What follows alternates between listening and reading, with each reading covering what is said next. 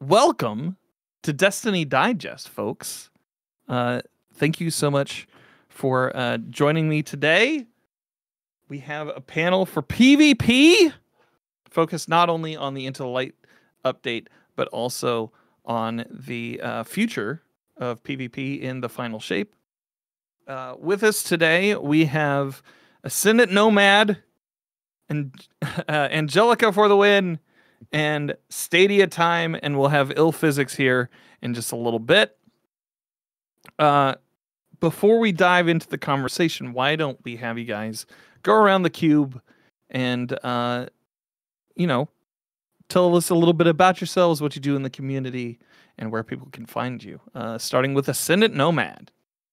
Hello, everybody. My name is Ascendant Nomad, and they call me the Crucible Doctor because I called myself the Crucible Doctor. once upon a time when I made videos helping people get better at PvP. That I think has been my main reason why people actually know me. Um, aside from making the odd tier list or two, that tends to do rather well on YouTube. Um, but yeah, that's what I do. Uh, you can find me on Twitch or YouTube or X, Twitter, whatever the F it's called now. It's Twitter. Um, Twitter, sure. The X is um, silent. Yeah. Add a nomad everywhere. Uh, Angelica for the win. Why, what about you? My name's Angelica. Uh, I'm your local PvE gremlin. Uh, I usually just sit in GMs. That's that's about it. Um, yeah. Occasionally a little bit of PvP sprinkled in, but most part GMs. A lot of GMs. Heck yeah. Uh, you can find me at twitch.tv slash AngelicaFTW or Twitter slash X, silent X, um, at Angelica FTW as well. All right, and Stadia time, rounding out the the two new folks. Oh, hello. Well, my name's Stadia Time. I'm one of the only people who ever survived the death of Stadia. Uh, I think you're more. Started... I think you're more famous than uh, Stadia now. oh yeah, I think so oh, the poor thing. Uh, but yeah, I started Destiny 2 on Stadia, and then I got good through meeting Fallout. You know what I mean? All that good stuff. And uh, I am. I, I'm an idiot, but I'm a functional idiot who likes to do stupid stuff in Destiny 2, like using gyro support on Joy Cons to control the game, or uh, or letting my chat control certain stuff uh, as I go through certain missions. I mostly do PvP, but I'm getting into a lot more PvE stuff lately because I'm getting bullied to do it. So, you know. you can uh, you can find my stuff on Twitch under the same name, Stadia Time, or uh, Twitter as well. Welcome in. Oh, thank you guys so much for taking the time to, to do this today. Um, let's start off. We've had a lot of changes to PvP uh, over the past season. The season has been incredibly long. Um, we've had a lot of changes to PvE as well. The just changes abound everywhere. Um, how are you guys feeling about the current sandbox in PvP? How are you guys feeling um, about uh, not only the abilities but the weapon choices uh, that people are, are making and um, some of the special uh, economy? Whoever wants to hop in, feel free. I'll I'll hop in. Um, I think generally the sandbox, with the exception of a couple of outliers in certain playlists and certain times of times of the season, it's pretty diverse. I'm seeing a lot of everything.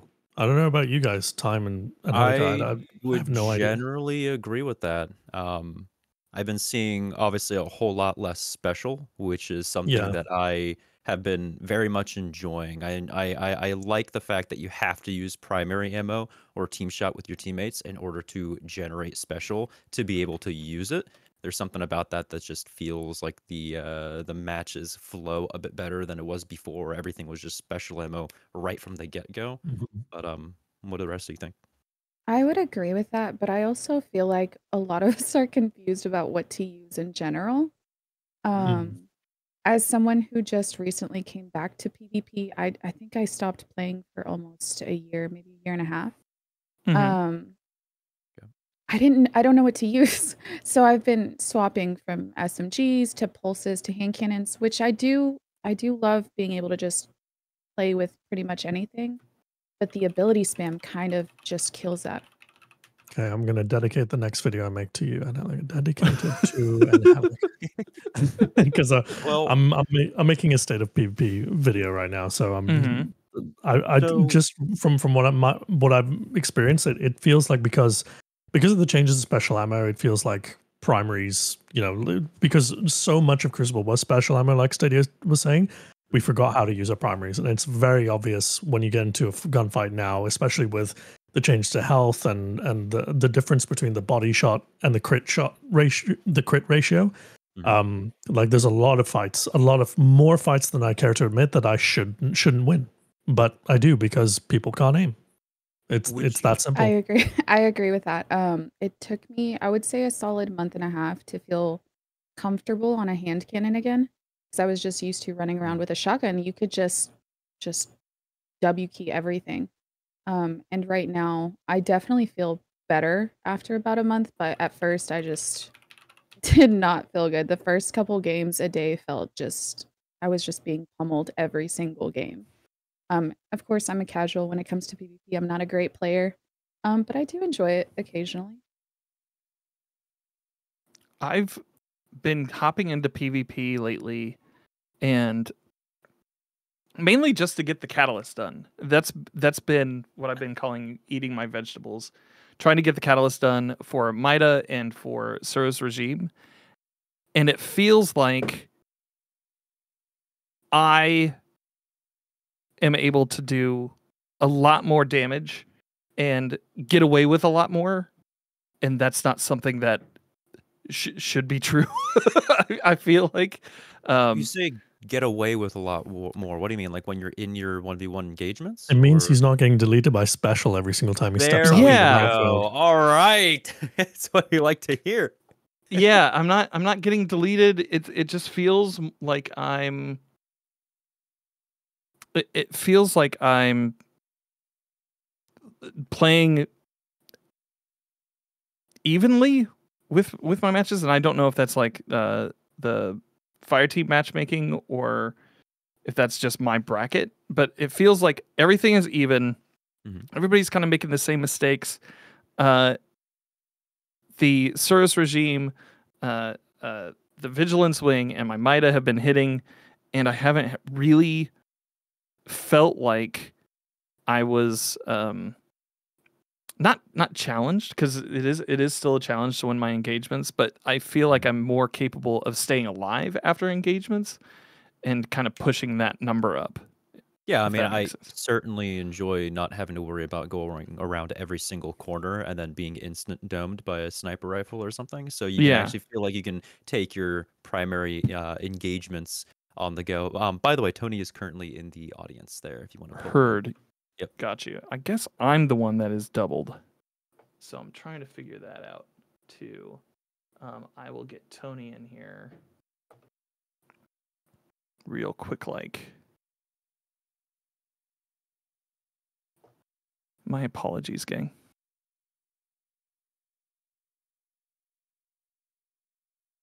Oh, by the way, Angelica, quick question.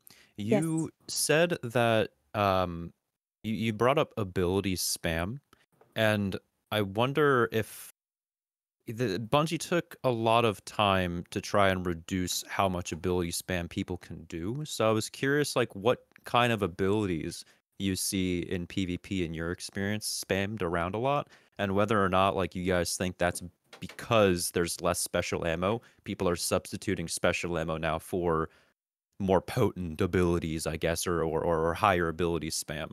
I see a lot of that. strand and a lot of stasis. Um, Okay. Being able to stop your opponent from moving, suspending them, freezing them is a huge advantage. Um, generally speaking, I do see it a lot in trials. Um, I've been playing a lot of trials recently, and it there's ways to combat it. You can definitely backpedal players. You can usually tell when someone's going to rush towards you, right? Mhm. Um, but sometimes I don't know if it's just the way our mods are. Build crafting is really, really strong in the game. And um, I do feel like sometimes, even though we're supposed to have a limitation on how much we can use our abilities, I feel like I just see them a lot more than I did before sometimes. So I don't know if maybe that is a product of less special or Mm. if it's I don't know. I'm not sure. But I guess it's uh I mean, I I don't know that much about PvP in general. I just play it and I hope for the best. No, it's totally okay. I mean, it's uh, Strand is definitely the the hunter slam is like one of the main things that I see very frequently going around everywhere, and that thing is incredibly powerful. Guilty, I use stasis a lot. I love Strand. I love uh Shadebinder Warlock is like my main for such a long time. Just such a stop shaking your head. Mhm. Okay, I, I ain't want to interrupt Stadia. But you, but this is the uh, you said I was I was about to just take the, I take love the mic for I a love it second so there. much, dude. It's basically a fourth weapon. All right, you got your primary, you got your secondary, you got your heavy, then you got your like pocket conditional finality. I love it, dude. I love it. welcome, welcome everybody to the stream where Stadia Time says some shit and Tony dis- just shakes his head. couldn't believe it. I couldn't believe we were talking about Strand Hunter suspension first before we talk about Shadebinder. Okay, Well, but it was- I'm gonna let you finish though. I'm gonna let you. I'm gonna let you finish. I'm gonna let you finish. first. You know, I'm trying to put myself on the side. I want to. say. So, Tony, we were just talking about um, welcome, welcome to uh, the show. Thank you Thank so you much having for, for hopping in. Um, yep. We were just Apologies talking the about the delay. current. We were just talking about the current state of PvP, what we were enjoying about it, what we do not, what we don't like. Uh, what what are some of your thoughts? Um,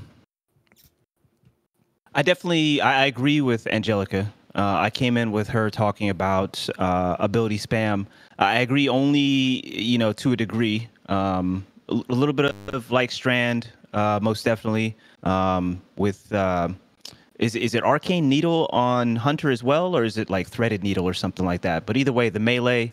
Um, uh, is it is it i- you just pretty much like I feel like you always have that up in most engagements. Um, it, it's it, it tracks much better. That can we get some sort of buff for Withering Blade if we if we got this for for for Strand Hunter? I don't know. Uh, Shadebinder is the most oppressive thing in the game as far as abilities. Like it oh, and I swear to God, people, and I'm don't, uh, people don't realize it. That's the they, they don't. They, it's don't. still slept on. How is it still slept on? How I don't it still understand it. It's slept got like a 2.7% usage in trials. It literally It's wins you engagements that you otherwise would have lost if you weren't on shade. I cannot It's like so good. those Shadebinder is that subclass that I have to take absolutely seriously when I see it because seven percent means that seven those seven percent. Just like if I see a glaive user, po- 0.7, you know, like Yeah. uh, just if I see a glaive user, you guys know where I'm going with it. You know what I'm saying? Those people are serious. Glaive Those people are yeah, criminals. Glaive You know users actually terrify me. Every single time I run into them, I'm like, I I want to go. Most definitely. I'm hearing a lot of, you know, elitism in the chat. So I'd like to advocate for the common PvP player. Thinking is hard. Mhm. Leave us alone. oh my goodness. Either way, uh, to get back to the point, um, you know, like I don't think that ability spam is overwhelming across, you know, all subclasses across the entire Crucible. I do think that there are certain outliers, most definitely. Thank goodness that we have, you know, only a 0.7% of shade binders. So, you know, I- I've always said, and you know, I'm sure a lot of folks can mirror what I'm saying with this is, you know, I love the abilities. I love the special weapons. I love Destiny as a whole, that whole sandbox, that whole economy um, that we've had that define uh, what makes Destiny 2 PvP. Um, if something is super oppressive, I just don't want to see it all the time. That, that's all. Mhm. You know, so if it's 0.7%, okay, all right, cool. You know what I'm saying? It's frustrating when it happens, but I ain't going to get bent out of shape, you know, for 0.7%, right? Mhm. Um, uh, otherwise, as far as like the Crucible, it really is just like um, like passive play and people's ability to disengage too frequently. Um, I see Mhm. that so incredibly often, and it makes my games absolutely unbearable sometimes. Um, and I see it more in skill-based matchmaking because people that Bungie thinks are around my level, or you know, like, or I'm at their level. I'm not saying I'm better or worse. I'm just simply saying my skill-based know what you- matchmaking bracket. I'm, you know what I'm saying, we man. know, we know what you mean. I'm just simply saying people be like people are able to disengage uh, you know, too easily uh, from fights. I feel like people are able to play too defensively, and these these like how long? Two and a half years of these overshield barricades. Like, come on, Yeah, yeah. like please, Lord have mercy, case, give us do some you reprieve. think the uh, increase to the health pool was actually a drawback or like a downside for, to PvP because of the more primary engagements you have to go into? Because if No. you're finding more people like No, disengaging because you can't actually kill them fast enough and everything like that, because of I think people how- are literally disengaging on like a first headshot. I think Oh, I think people are like feel comfortable back like backtracking because Mhm. they have defensive capabilities that trump aggressive capabilities in this game right now for PvP. fair. Um, so I'm not, I'm not, I'm just stating my experience. I'm not proposing any solutions, or, or well, I will say, please, for the love of God, let's please address these overshield barricades. Please, for the love of God, Oh, I'm so fucking tired of it. Sorry, I don't And know if we're supposed to be cut because I, I, and bubble, and bubble tight. you're You can't, you can't have, you can't have the best. You know, Sam Supers for the game modes that we have available, and on top of that, you got the best like neutral game kit as well. You know, you can't have those two together. I don't get that on Arcstrider. I don't get that on Arcstrider you know and i'm not It's- it's necessarily like- saying that we can't have that as well but we can't have it for two and a half years Yeah. Mhm. you know I mean, I think I think this one fundamentally comes down to the fact that they can't seem to separate the cooldown timer for the supers between PvE and PvP. If something's a tier five Mm. super in PvP, it has Mm. to be a tier five super in PvE. Because if Mm. they were able to separate that, I have to I have to think Bubble would have been put straight to tier one. did they ever That's the mention that longest they cooldown. literally weren't able to, or is No, just they I- I- haven't? I don't they don't if they want to. I think they don't want to because they Got it. said they want the experience between PvE and PvP to feel somewhat linked. consistent. Yeah. Okay. Mm. Yeah. yeah. yeah. and supers is one of those ones that they yeah yeah they, they put in that bracket agreed Which is strange because you can get your supers so quickly in PvE these days with Yeah, any number make of builds or so so it I- I do feel like it's one of those yeah, you can have this, but you know, there has to be an appropriate penalty for this. I run 100 intellect in trials. I run like 20 intellect in PvE because super abilities, like you get them so quickly. Mhm. Two, three minutes within a busy activity. Like you really can just get them And it's damage as soon as you need them. Yeah. It's kind of a trash stat on that stat block. I never put in for them w- going into raids or anything like that. Oh no. I Mm. think all of in PvE, all of my builds I think are anywhere between 20 and 40 for intellect, Mhm. and that's usually just because that's what was on my armor. It's Mm. not because I chose it. If I could, it'd probably be at zero. Honestly, it's just Mhm. not a necessary tier. Mm. Um, got some especially in higher end activities where you do a lot of damage using rockets, GLs, or LMGs. So, Hundred percent. what do you guys feel like outside of abilities, outside of getting your super back faster and like the engagements? What, where do you see improvement in the Crucible? Where do you see, um, what would you like to change in this current sandbox? Oh. Hmm. for me personally um I, I really don't think there's there, there's really just not so much that frustrates me with this sandbox. i think they've done a great job i think they've done a great job of uh, mixing stuff up on a f- on a relatively frequent basis um i don't think that they necessarily need to make tools for aggression more prominent or stronger I Mhm. just think that they need to tone down some. I know, you know, relatively speaking, if they end up toning down some of the defensive, you know, measures, then of course that by default brings up aggressive, you know, measures or whatnot. But I, I really just don't think they need to outright buff anything aggressively, you know, for the sake of buffing aggression. I think that they just need to they need to tone down, you know what I'm saying, like the bubble, the um they need to tone down uh uh, the overshields, Lord have mercy, please, for the love of God, please Yeah, just tone those down. PvP, It, like I it would be like so much better if that right there, in particular, gets toned down. Yeah. Um, and I've said it a couple different times. You know, okay, maybe don't give it to the entire team. Mm-hmm. Okay, make it so that you don't instantly get an overshield off of popping it, so that Yeah. there's some actual downside. Okay, you got a whole barricade, right? But I can still push it. You know what I'm saying? If I do it fast enough, and still there's a risk of that barricade like touching my toenail, and I'm absolute while they're absolute. You know?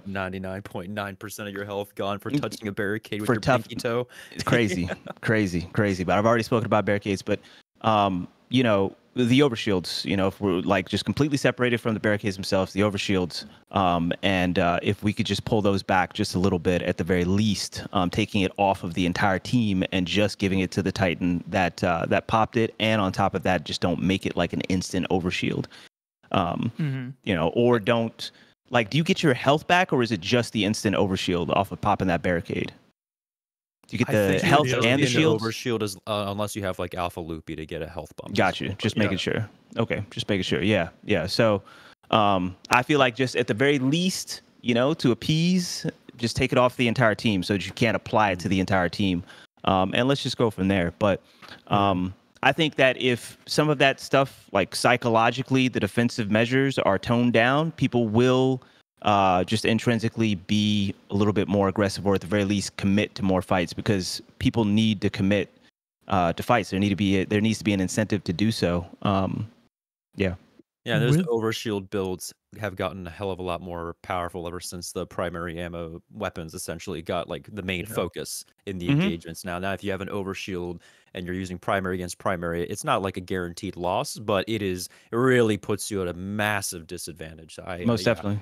100%. Go ahead, send it. Yeah, the, the, I was just going to say, just the, the the fact that we've all locked in on just this one thing, and only this one thing, just shows that there isn't a whole lot they need to still do. Mhm. I think the biggest thing, the biggest thing on my head, the biggest question mark is this one one one system with the special ammo. It's very TBD as to whether or not it's going to work. If we're still going to have more special ammo. By the way, snipers are dead completely with the new special ammo Mhm. changes. I Mm, would like to mm. see some return to that in the sense See- that I would like to see a bit more diversity in the specials used. That it's not just what was it, seventy five percent conditional finality or whatever they said the in the twi- in the twid. On that note, make shotguns more consistent, please and thank you. Um, but People not that confident with their sniper shots anymore. Is that what happened? I happened? think I think people are f- there's more Excuse of a penalty to miss a sh- uh, a sniper. Exactly. which I think is and- totally fair given the fact Yeah. That you hit scan anywhere on the map, instant kill, Yeah. headshot, and the also, game flinch has- is really high. A lot of weapons have things like explosive right now, um, Mhm. especially the new weapons we're pulling. If you look at Luna, if you look at pretty much any, uh, what is Yeah. the, I, I would say almost any hand cannon or scout that you see in in Crucible, like for the main Mhm. part, you're gonna see some kind of explosive. I mean, even things like Firefly, like you you start seeing that a lot. Um, Mhm. so yeah, there is going to be a bigger punishment for running snipers. They are kind of dead. I I don't really see them. I really don't. Um, especially in trials. And some would say good riddance. I mean, I, I certainly did not enjoy three snipers. Nobody enjoys that at all. No, no. Um, but also, like fr- from my perspective, I was I was just in Dubai recently for a family thing, and I brought my PlayStation because, of course, I did. and the meta on console is so vastly different to what we see on PC. Like Mhm. there aren't a lot of 120s. It's basically just Luna's Howl because Luna's Howl's the precision frame archetype feels incredible on a controller. yep. One hundred percent. Um, it feels like legal aimbot and certain devices which cannot be named for legal I'm reasons. amazed that they gave it the same visual recoil shot pattern as the 180 as a 140.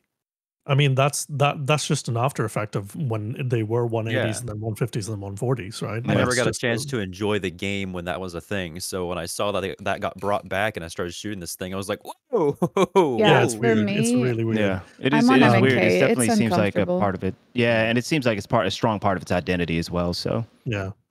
But the like going back to the console meta, like the passive meta isn't nearly as prominent, I don't think, as as it is on PC. Like there's far less 120s, there's far less uh high impact pulse rifles. There's a lot of there's a lot of SMGs and peacekeepers. I think that's still Mm. pretty strong, especially I against agree. console players that that do not know how to move, uh, which is a significant portion of them. Sorry. I Um, think there's a lot of spray and pray on console, is what you're saying. yeah. Uh, auto rifles, SMGs, just just pray, just hope How- it hits yeah, something. How do you think I've been getting my? How do you think I've been getting my catalyst kills? Just straight up, bye and leaving. Yeah. I'm just saying, if you have a Ma- Mask of Bakris build on a console and you're not dropping 50 bombs in, in open skill lobbies, yeah, you're the problem. Oh, I see. That's like a, a you know a big portion as a lot of people I feel like on console use 10 or below sensitivity. Um, Yeah. especially when you can have abilities that move so fast, which that's like literally the only reason I swapped to mouse and keyboard and started learning. I was on 20 sensitivity with a 1.5 ADS and it wasn't fast enough, and I was like, "What the heck?" So I decided to pick up mouse and keyboard to try and learn that. Uh, yeah, it's a night and day difference when you can Yeah. turn so quickly and so Yep. accurately. I Yep. can imagine the sandbox is so much different. Yeah. Now, uh, I'll mention this as well. Cold snaps. Uh, cold snaps need to They're doing a little little too much. I feel like, especially with the Osmiomancy, but I feel like they might be doing a little too much. I'm not talking about a, like a lot, a lot, but they're a little over the over the threshold. Whatever they did, I'll, I'll, I'll, I'll give you Osmio- Osmiomancy, but for the others, just jump up, bro.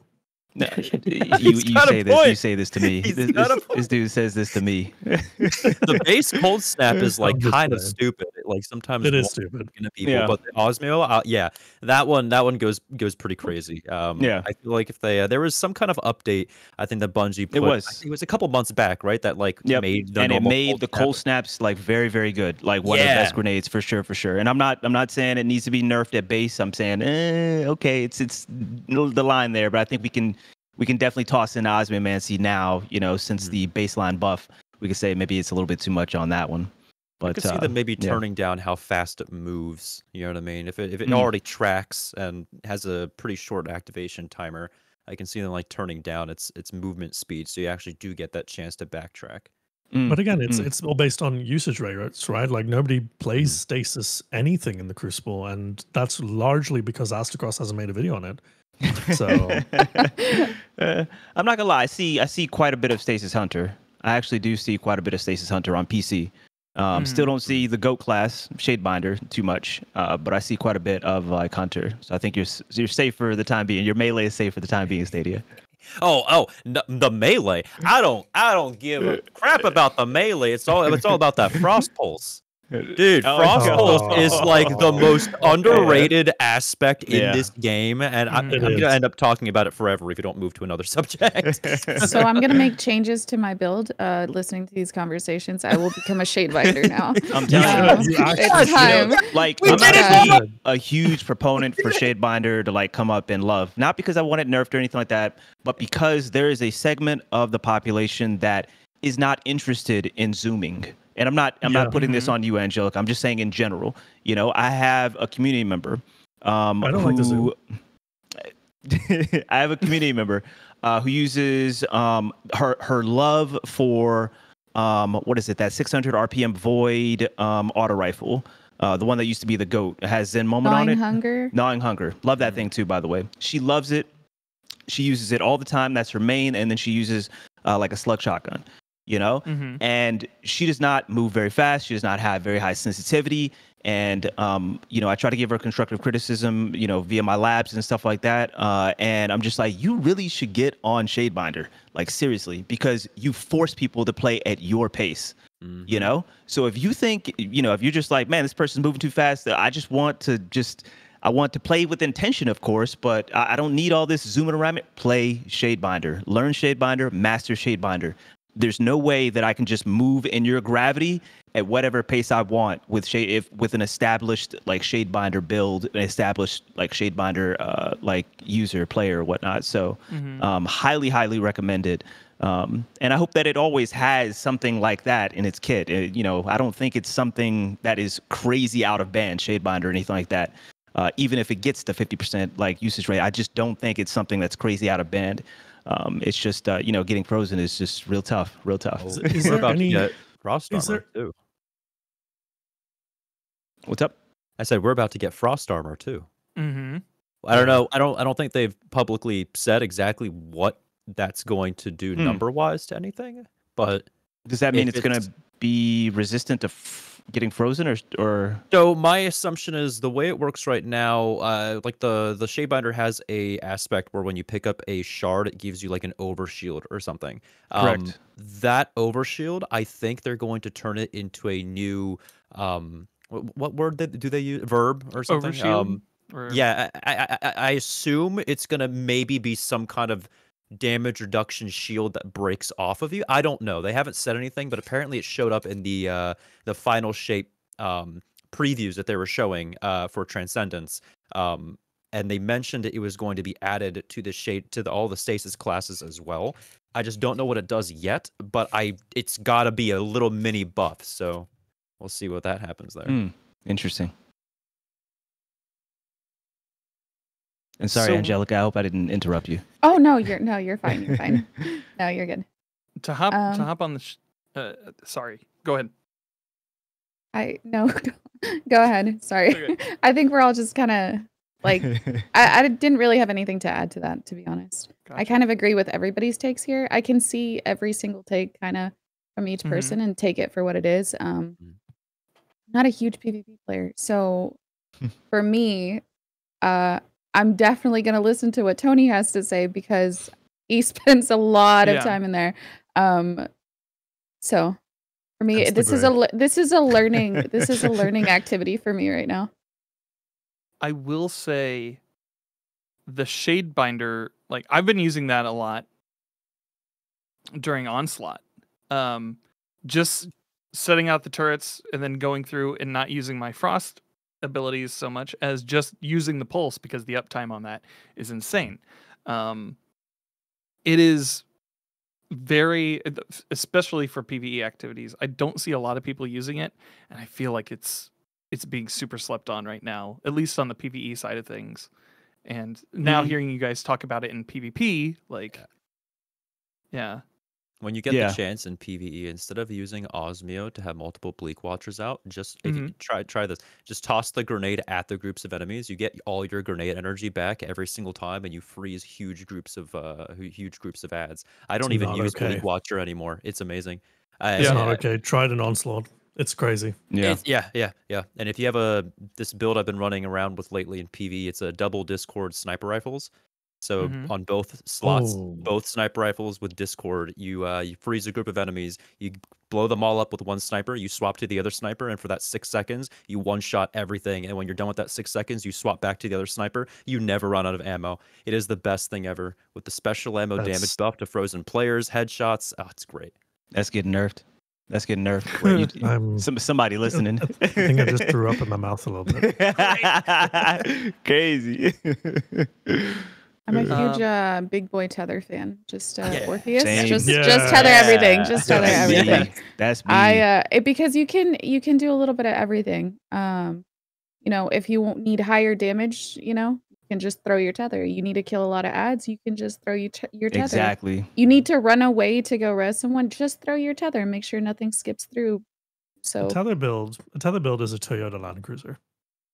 It's it, just it reliable. does everything. It does Yep. Does everything. It does everything. everything. hmm You need it to be a family car. You need to be a soccer mom. You need to, you know, c- climb up a mountain. Tether's there. It'll, it'll always deliver, and it won't let you down. Well, and you have the the neutral game of being able to, if you're helping other people, being able to go invis, res somebody. Um, Mhm. If you need to kind of just go across the map and you know cap a zone or something, you can do that. Like there's just so many options for it. Um, You've got weakened. You've got volatile. You've got all got of your these- these abilities are useful. Yep. Yeah. Mhm. all of your abilities are super useful um which is something I, I know that on other characters obviously all of your abilities are useful but i feel with hunter overall it's just so well rounded to do everything in pve Tell them. um it, Tell 'em. it just it just works every it works for everything you can't really go wrong Void like 3.0 on solid- Hunter is is is it's been like ever since it came out. It's Mm. just been like the best in PVE. I have not stepped off of it. Um, it If it didn't you have know- invis, I don't think it would be nearly as good as it Mm-mm. is now. Because Mm, like every, I don't every single time I ever see any solo hunter gameplay of like a high Um, level uh mission, like solo dungeon, whatever, it's always yeah, the but I'm not talking about solo though. I do agree with that part of it.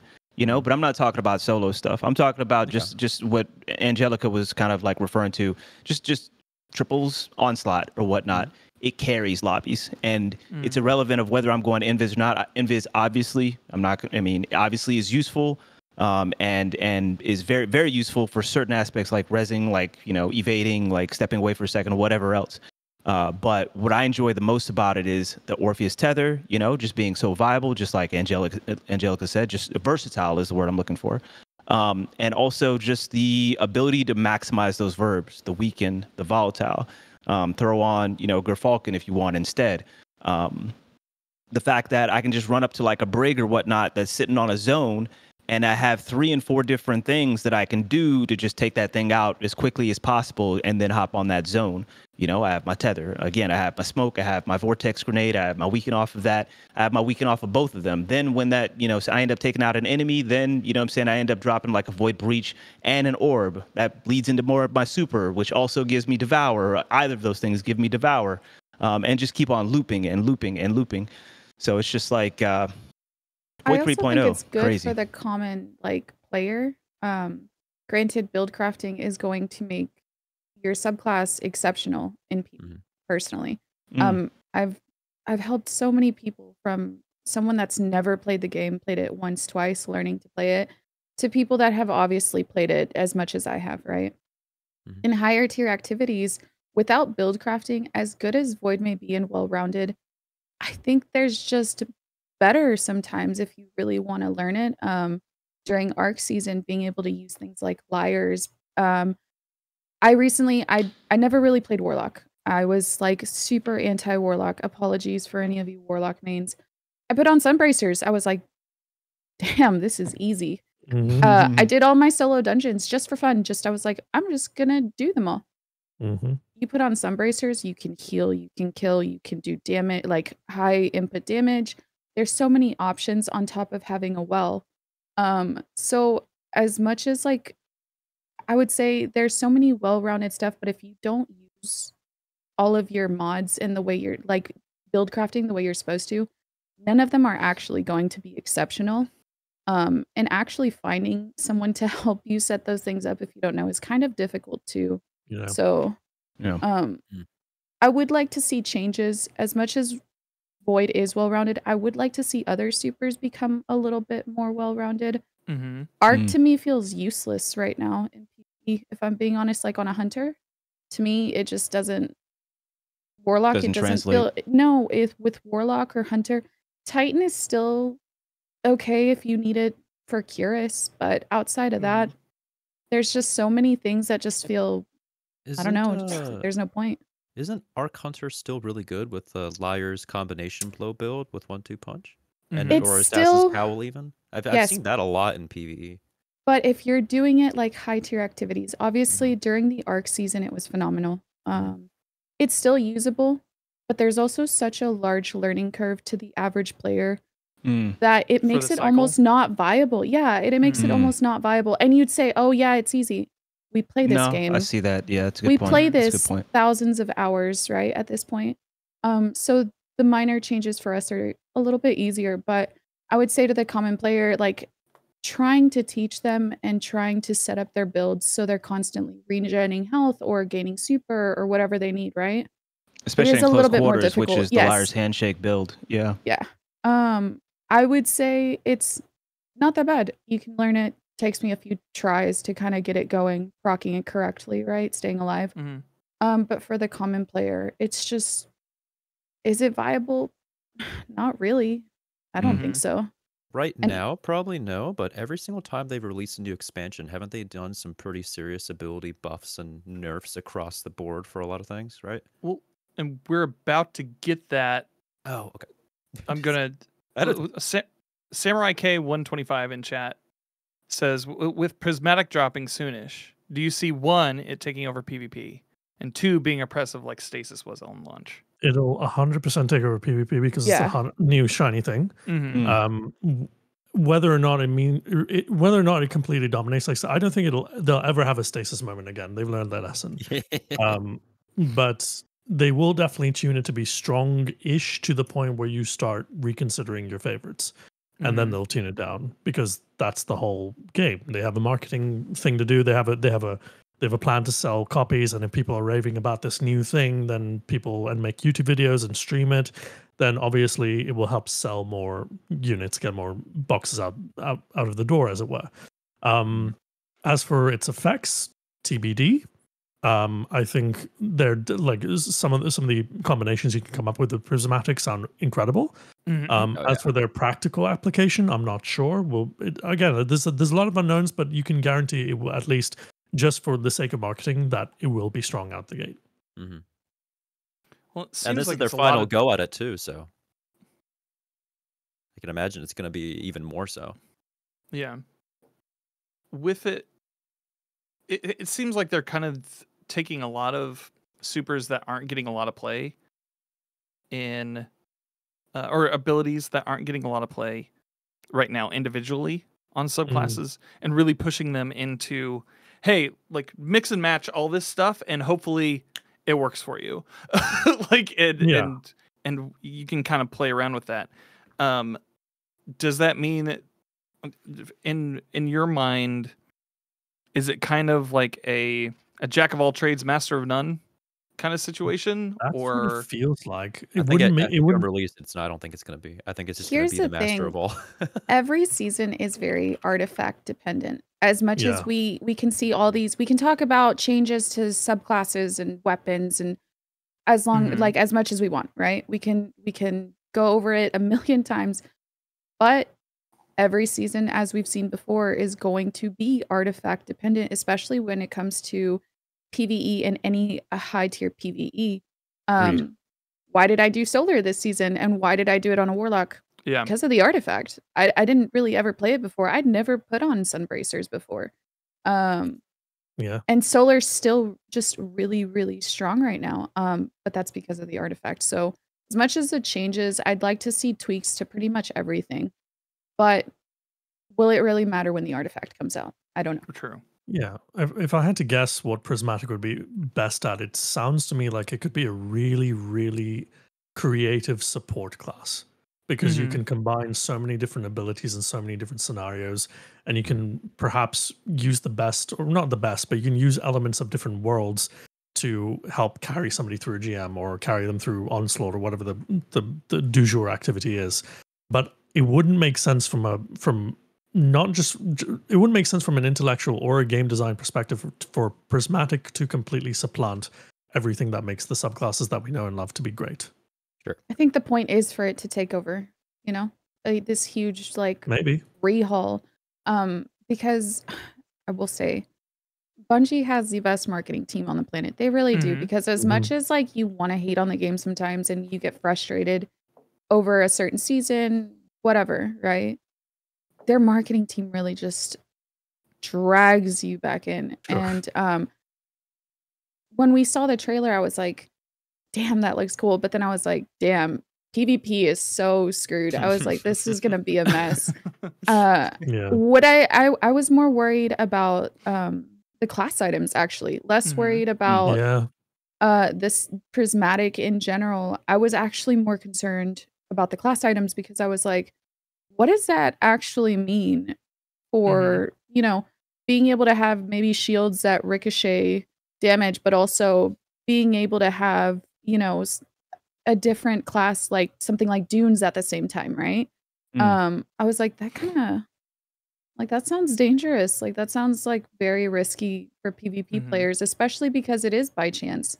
Um, imagine everybody no starts getting the best stuff. I, I Yeah. found it interesting they decided to lock it down to only the prismatic subclass. Isn't that what they said? You can only use Yeah. those class items on prismatic. I, I I don't know if this is like an it was an internal issue if they allowed it on other subclasses like it just didn't work and they had to remake prismatic specifically to work with those. But I I feel like that's probably going to push the the the issue that people are worried about just prismatic being the everybody uses it situation like like you like you said it will replace everything because now you can have multiple half exotics on at the same time but Mhm. only on the subclass Yeah. now only those See- people will use it just because they can do that See, this is this is the big question ultimately is that is because the exotic class system basically gives you fifty to seventy five percent functionality of one ex- Mhm. exotic, but gives you Mhm. two of them. Yeah. And is that going to be is is fifty percent of two exotics more of a problem and more oppressive and hard to tune and counter and all of that? Is Mhm. that harder to deal with than one exotic? And to me, the answer is depends on the exotic. It really just Mhm. depends, depends on on the the, ability to give exotics. it Yeah, i think Yeah, So how do you account for that? Is there any way to telegraph that we have Yeah. to as a player, that like in high end comp? some exotics have basically two things they do. You know, they might give you handling speed, and on top of that, a giant electric current. So you have to consider that there are exotics that already have multiple things they do. So how is that going to be split up, you know, with other exotics? Granted, I I don't know what all is coming out obviously. I'm just for me, it's a little scary. I, the class item is what I was mostly concerned about. Mm. Um, I also kind of hoped Prismatic was going to be one of those like potentially like high tier PVE, like you know when you could just pick up a buff or something, right? And it was Mhm. just something cool we could do in certain activities. Um, I don't know. Oh, you didn't think prismatic would be like an actual subclass At itself? first, like, yeah, at first I Okay. didn't think that. At Mhm. first, no, I it's true. In the in the in the trailer, the first thing they showed us when they were going against the uh, was it the subjugator? They stood on top of a circular. Uh, it was like an effect on top of one of the, the the the buildings in the tower there, and I was like, oh, do you stand on top of that to get prismatic? Just like we had to activate the strand little Mhm. floating Yeah. things in Mm. in a lightfall to get strand, and I, I don't know if that's just going to be a similar thing where you just get the ability for the first training thing of it. But uh, but yeah, no, I see what you I kind of thought it might be something like, you know, you do you remember uh doing like the season of the deep season where you would step in and you could basically pick up a type of buff? I kind of thought that maybe it was going to be something like that where you stepped into, you know, the raid or stepped into something and you could basically or a new seasonal activity and you could pick up a buff or something. Um I didn't think it was going to be something we could use all the time because it looked broken. I was like, man, this is not, you know, gets gets stranded and then nated at the same time Mhm. sounds absolutely horrible. Um, I don't Hmm. think they could do that to PvP. But then I was like, Ugh, see, It Definitely seems like it's like an action per minute subclass. Kind of like what they were pitching yeah. with Strand. Mm. Like just being able to constantly rattle off different Yeah, abilities. like, I don't know if they were giving themselves like extra ability regen in that footage because you know the, Yeah. the, the devs they can do it, but it looked like it was grenade after melee after class ability after Yes. grenade Mhm. after melee, and I'm like, well, that was when they were. That's what. That's when they were in the presence of transcendence, though. Correct. Yeah. I believe well so. that's know, what made me well, that's what made me think that it was something that you you could use only for certain activities because it didn't it felt a little unreal, like excessive, maybe? Is that Mm. like is that the right word? But I guess if Mhm. transcendence is supposed to be the prismatic's super, then it's supposed to be in a way excessive, right? that would make more sense, yeah. Yeah. Just the trailer looked it was a lot. It was just Yeah. a lot. So is transcendence supposed to be the super for for prismatic? I think so. Oh, Y- I- or do you think actually that's get a point. super?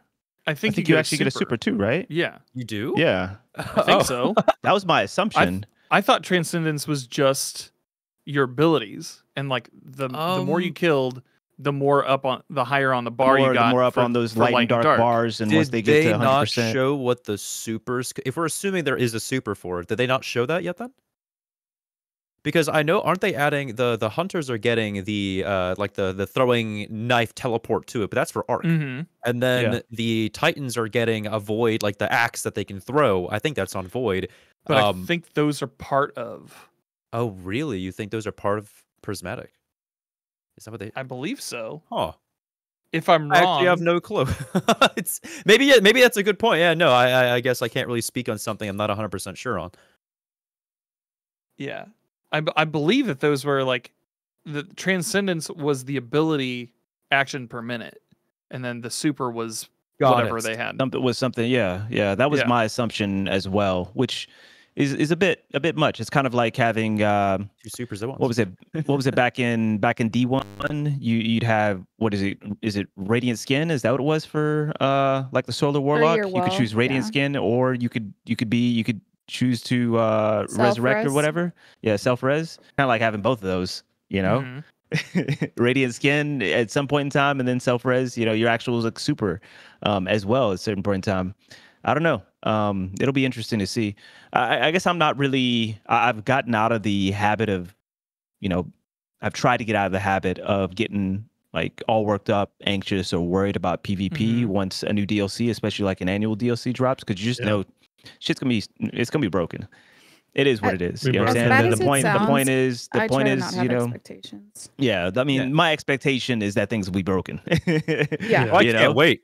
Yeah, and I think they're fully, fully um, uh, embracing the, uh, the. I think they even said in the in the little mini trailers that they're embracing the broken brokenness and jankiness of it. Um, I think that's going to severely affect those who like PvP a lot. But I mean, I think that's just something we're just going to have to deal with and understand. This is not going to be a balanced game, and that's okay. Well, I, I really think I. Yeah, it never really has been. You know, I just what my expectation is from there, and what I would be disappointed is if, you know, after you know that initial period of things just being absolutely broken, um, and uh, and and things being adopted in the Crucible that uh, that may end up kind of breaking down the integrity of the gameplay loop, uh, which always is going to be the case um, whenever this comes out, uh, and we're super powerful in PVE to start, especially. Um, you know, as, as long as they like tone things back, basically, they pull things back a little bit, um, you know, and they do it in a time frame that doesn't absolutely frustrate the PvP player base. Um, there is a certain balance to the unbalanced aspect of Destiny 2. Uh, Destiny 2 Makes it at a fun. baseline will always be unbalanced. That's what makes it fun in a lot of ways um, as well. And everyone should accept that if you are a PvP main, you know, otherwise you will be disappointed 20, 20, 20, 20 24 7. Um, Although, but there is a balance. There's a balance to the unbalanced. What do we think about perhaps actually having expectations that they will balance it quickly? Because the strike team has been fucking fire since they Mhm. started. Hey, they set them expectations. I'm s- I'm just sticking with what y'all said now. Yeah, yeah. yeah. I You know, got you. I got you. I, I, just think for I have me faith it's that less I, that. I'm sorry. Sorry. Go ahead. I, I Um, think just for me, it's just don't have too many expectations because that just leads to disappointment. So I'll just just Mm. go with it. Just go with whatever yeah. happens. You know. Mm-hmm. I'm normally I would be the same as you guys. Like I would just be like, yeah, okay, it's gonna be things gonna be broken and things are gonna be wild and we're gonna have fun as much as much as we can before things get really old. But I I feel like with the with the strike team that they have, just they've identified with, all of the write-ups they've done, they've not only identified correctly the pain points that we all have as PvP players, but then when they've written about them, they have such a deep understanding. Like they actually under they actually play the game for for. Mm-hmm. I'm not going to say for once. That's mean. But like, but like Devs play their game. Oh, oh, yeah. I mean, I'm just saying that beforehand, like especially when airborne effectiveness was introduced and and some of the changes that came in during that time, there was seemed there was this big disconnect between the changes they wanted to make and how bit. the game actually played. Yeah. and it felt like you know pe- players like physics and and a couple of other high end people who were talking about these issues on Twitter. They felt like they were completely ignored and there was no uh, connection whatsoever. They weren't even that like did anybody working on PvP actually hit max rank in comp? You know that those are the sort of questions that were being asked. But now I think, especially last six months or so, I think that sentiment's completely turned around. And I feel like there is, I wouldn't say there's total faith in the PvP strike team because, you know, it's just been so long without actual coherent vision of PvP. Um, but things are looking up in that sense. And I think they're, they're, they are slowly but surely earning their stripes. And if they Yeah. ship this thing knowing it's broken and they're like, yeah, we're going to rein this in in two or three months or two or three weeks, whatever the case is, there's a timeline. And then they execute those changes and they're actually like perfection, then that's off. And that's that's happened at least a few like several Mhm. times you know in the last like six months at the very least. Um i've been pretty impressed with that. We're, we're looking at a team that is is yeah can't nobody say they're not competent at understanding the context right of of where the sandbox stands across the skill spectrum. Um understanding it oftentimes at a very i mean i'm sure they understand it at a high level but communicating that understanding at a very high level Yeah. to the point where I'm sitting there reading the twid and I'm just like, this is exactly what I mean. Like you right Mhm. at this point, this you know what? That's and that's the reason why that right there. Y- You right. You that's feel heard. exactly yeah. You know? Um, so it's just like they they understand and they're stepping through and communicating, you know, why uh, this change right here was made because of this step in the mechanic, this step in the mechanic, and how it interacts with this other ability over here, and how that ends up playing together to end up creating an oppressive environment for a particular part of the skill spectrum. And then they end up, you know, you know, keying that together with where uh, you know, that ends up putting certain like skill-based matchmaking measures and things like that. I mean, they're killing it. They're killing it. The comms, Yeah. just please keep those coming because I'm loving reading. I know everybody is not necessarily trying to read a book. I am. because And it just- just shows me the, to- the the degree of like competency is is yeah, they're hitting it. They're doing it. just to build on that real quick the fact not only are they doing that and they're writing bibles but also the fact that they're not afraid to experiment. They're not afraid to do things that will piss people off one week and they'll be like, Yep. okay, yeah, yeah, that didn't work, my bad. And, and then they go back to something a little bit. They go back to the drawing board at the very Yep. least. Yeah, how can you be upset at that? Uh, like I've been frustrated with, you know, uh, like crates on the wall, for example. I can't stand Oh. crates on the wall, you know. Mm. But they're exper like like how can I really be like really truly frustrated? Like they're experimenting. They flip things so quickly, you know. And it's crates on the wall this week. The next week it's it's back to the special ammo system. Then next it's like some sort of mix. Then it's like a one one one. It's like a two two two, whatever they want to call it. You know, like keep See, the one thing experimenting. that I don't I do like that- that. The, the one thing that I don't understand why they haven't done anything with it yet, seeing that everybody that I speak to that does trials, you know, uh, if you want to say competitively or just does it all the time, is like the the the prevalence of like wells and bubbles with the flag, and that they haven't done anything different with the flag in a long time. Mhm. Which I think the only reason you see those two supers constantly in trials winning matches is just because of the flag. I remember well and Mm. bubble used to be used a good bit before, not as much, but they really were only used for like oh shit moments, right? Or to get a revive Mhm. real quick, which is still Mm. very powerful and will win you a, ma- a match. But with the in- flag now, God, Sorry. In fairness, they have been moving away from like stand on a point type Yeah. OBJ, Mhm. and they've been more inclined to do other things. Like, I'm not if the biggest fan of objectives collision. I- that'd be amazing. yeah, like like collision is a perfect example of that. Now, I'm not the biggest fan of any King of the Hill game mode that doesn't require you to be in the hill. That's just me. But then I think about it for more than two seconds. It's like if you stand in one area willingly, how much bullshit can somebody throw at you and they'll just kill you immediately? Mhm. Yeah. Like Witherhoard Yeah. would be hard meta, you know. Um, so it's the it's the best version of King of the Hill you, that you could possibly get in D two potentially in this Um, sandbox.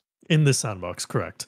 Um, so yeah, like like th- th- I used to joke with my chat, just like everything is just Slayer with a different twist on it. But it seems like now they're moving away from like what you're saying. Time is is basically like yeah, everything is just control with a, with a bit of with a, with with a- with a few tweaks here and there. And now if you go towards collision, or maybe you do. What if you had trial supremacy? That would be interesting. Mhm. You know, to- to just try something new that doesn't involve strictly standing on a point or killing. Oh, I don't know no. how you guys feel how trials should play specifically, but whenever I thought about trials in the past, I always saw it as the the game mode for 3v3 and that's it. Mm. There's no like alternative objectives, there's no do this or that. It's just purely you against you and your two teammates against three other people, weapons mostly and abilities and really that's it. There's no other objectives. So like my personal opinion on trials is I feel like that's what trials should be about is like you going against another team and there's nothing else you have to focus on. And like I understand wanting to throw in a little bit of like spice in there, right? To maybe I mix mean- some things up, but But the zone was see, here's my issue with the zone. I do and don't like it. I don't like Mhm. it because of yes, everybody just pushes with well and bubble and shields and whatever they can to hold that zone. Mhm. But here's the thing, there's so many people that just constantly disengage fights that having a zone forces people Mhm. to get True. into gunfights. It forces you. that if we true. start taking the problems of having things like excessive overshields, rifts back to back, um, I think there's, I think, I don't think the zone is that huge of an issue if it's in making you engage fights. Um, I, I think that goes back to, as Tony said earlier, overshields and having shields, barricades, just that you can just sit behind. Um, I think that's a bigger issue than Yeah. things like capping a zone to force an engagement. Mhm. Um, I'd also, Mm. I'd also just want to back that up by saying that most of casual PvP revolves around zones. So it's more of a, oh, for if it, say a casual goes into trials, they'll be like, what do I do here? And then they see a zone and say, oh, I know this. Yeah, I can do that. It's easily Yeah. digestible to the masses. Mhm. Completely agree with that. Yeah, yeah. Uh, I think that you know it's obvious that Bungie is very hesitant to you know address the overshields, the barricades, um, the bubble um, in PvP, um, and you know. Uh, I applaud them for giving us collision at the very least because uh, it's still a zone area, right? But it's not a zone that you. I, I totally agree that it's the best fit for this sandbox as opposed to a traditional like King of the Hill, which would just end up being barricades, overshields, bubbles, wells. Um, and uh, you know, they're trying to find some sort of middle ground basically between, you know, some of these really strong like OBJ kits um, and uh, and also just a wider uh, concern in the Crucible for uh, incentivizing engagement um, and doing it in a way that is easily digestible to the masses, a zone, for example. So, you know, I, I, I applaud him. I do think that in the end, Angelica is correct that it does come back to some some oppressive stuff about those kits that we mentioned, the overshields, the barricades. You know what I'm saying? The bubbles being tier five, the wells being tier five, or whatever tier it is now, but the fastest charging like supers and whatnot.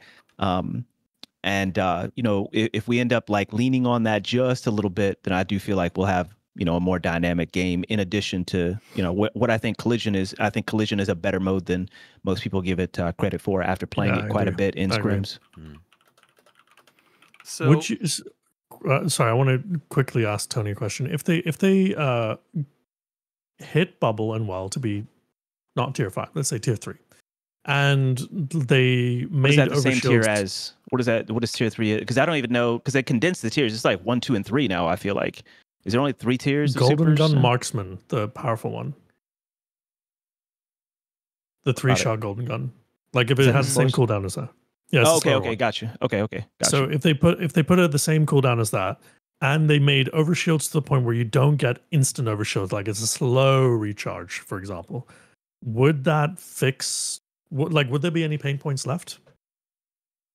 Okay, I think that the lowest uh, hanging fruit for overshields is removing it from the entire team, giving it to the giving it to the Titan. You know, allowing it to be instant. That's fine.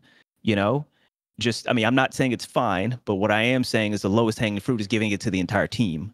Yeah. knock that out first. Leave the rest. See how that plays.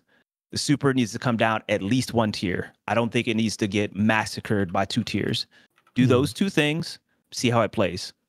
And I I, would think like to we'd be in a good spot. tweaking and Mhm. less Decent, like decent spot. we've seen before uh, after since D1 beta. Um, a lot of the times they nerf things to the ground. I would like to see Yeah. tweaks as opposed to just nuking things. I, I, I hate that aspect of stuff. That oh, it's too strong, so they wait two years and then it's garbage. And and they've been and they've been I doing hate this. that. And I they they've very hate that. frequently go like yeah, either a huge Yeah. buff or a huge nerf, but no Yeah. like super and they've, small they've been doing it more frequently you know and so, sorry i don't mean to interrupt but they've been doing that more frequently i think Mhm. they've been doing a better job of just like doing those tweaks what i will say as well is the psychological aspect of it is huge this is why you don't really need to like nerf something crazy peacekeepers are still very very good. It was just a nerf, and then they yeah. Exactly. And that's what pulls them off of the usage. And that's all that I really care about most times. You know, most times. You know, some stuff needs to be put into the dirt sometimes, but most times it's just, hey, I want folks to equip something that they love um, and it to make a discernible improvement in their gameplay, you know, as an exotic should, for example. Um, but I just don't want to see it like too often. So if you end up pulling and tweaking a little bit, it's the psychological thing that pulls people off of it as well. Um, and that also, you know, leads to a greater nerf, effective nerf to it. Um, and that's why you don't need to absolutely nerf something in order to pull it pull it down, basically. if you guys see what I'm saying. little Mhm. tweaks to me are easier even if and i agree with what you said earlier tony the hey small changes and like being able to see like on their twabs and on everything where you just start seeing a huge list of stuff and there's a lot of numbers and even though they might look very very small i like seeing that test it Mhm. like even Yeah. if i hate it I, it's okay i don't mind not liking something but what i don't like is not seeing any changes made for a long Right. long time Mhm. Yeah. Yeah. that is Yeah. frustrating to me because that means there's there's no effort Like by the, Um, by this time, they very could have easily like uh, bring up a, a pain point from Tony's side about the overshields, right, from the Void Titans and everything just in general. By now, they could have very easily just made it give you less in PvP. That's it. Just tweak the number instead of five, you know, ten per second, five per second, Mhm. right? Like it's very slow. Like eh, I, I wonder, you know, why haven't those small little tweaks across multiple different pain points Because been game dev is hard. For a while. I Yeah. okay, I I- understand. I almost think like it's it's one of those things where like that kind of change comes on the b- comes on the back burner of we need to ship this DLC that's already been pushed back. Sure, twice. Sure, Yeah. but And- uh, okay, I'm not gonna armchair here. I'm just gonna shut up. yeah, yeah, yeah. And and so like one of the, one of the things that like uh, so we we already mentioned the PvP strike team. Um, we also have a new director stepping in after like when the final shape launches, essentially with Tyson Green, who is like the granddaddy of the Forge mode. Um, do you guys feel like there will be massive shifts, or like, do you guys feel like there will be any more shifts post final shape that lean toward a more positive experience? Yeah, uh, hands up in the air. Yeah. okay. Yeah, I got no clue. I got Yeah. no clue. I here's the thing. No expectations. That's I Yeah. I don't have I don't want to have negative expectations. There there because Mhm. there's a difference. I'm not here to like be like, "Oh, it's going to be shit." Yeah. This prismatic or PvP. No expectations. I I would like to wait and see and also not just for my own opinion. Part of being a content creator is I also get to listen to how people feel and maybe look at their side of it or watch people like Tony that spends a lot of time in Crucible. too, too um, much time.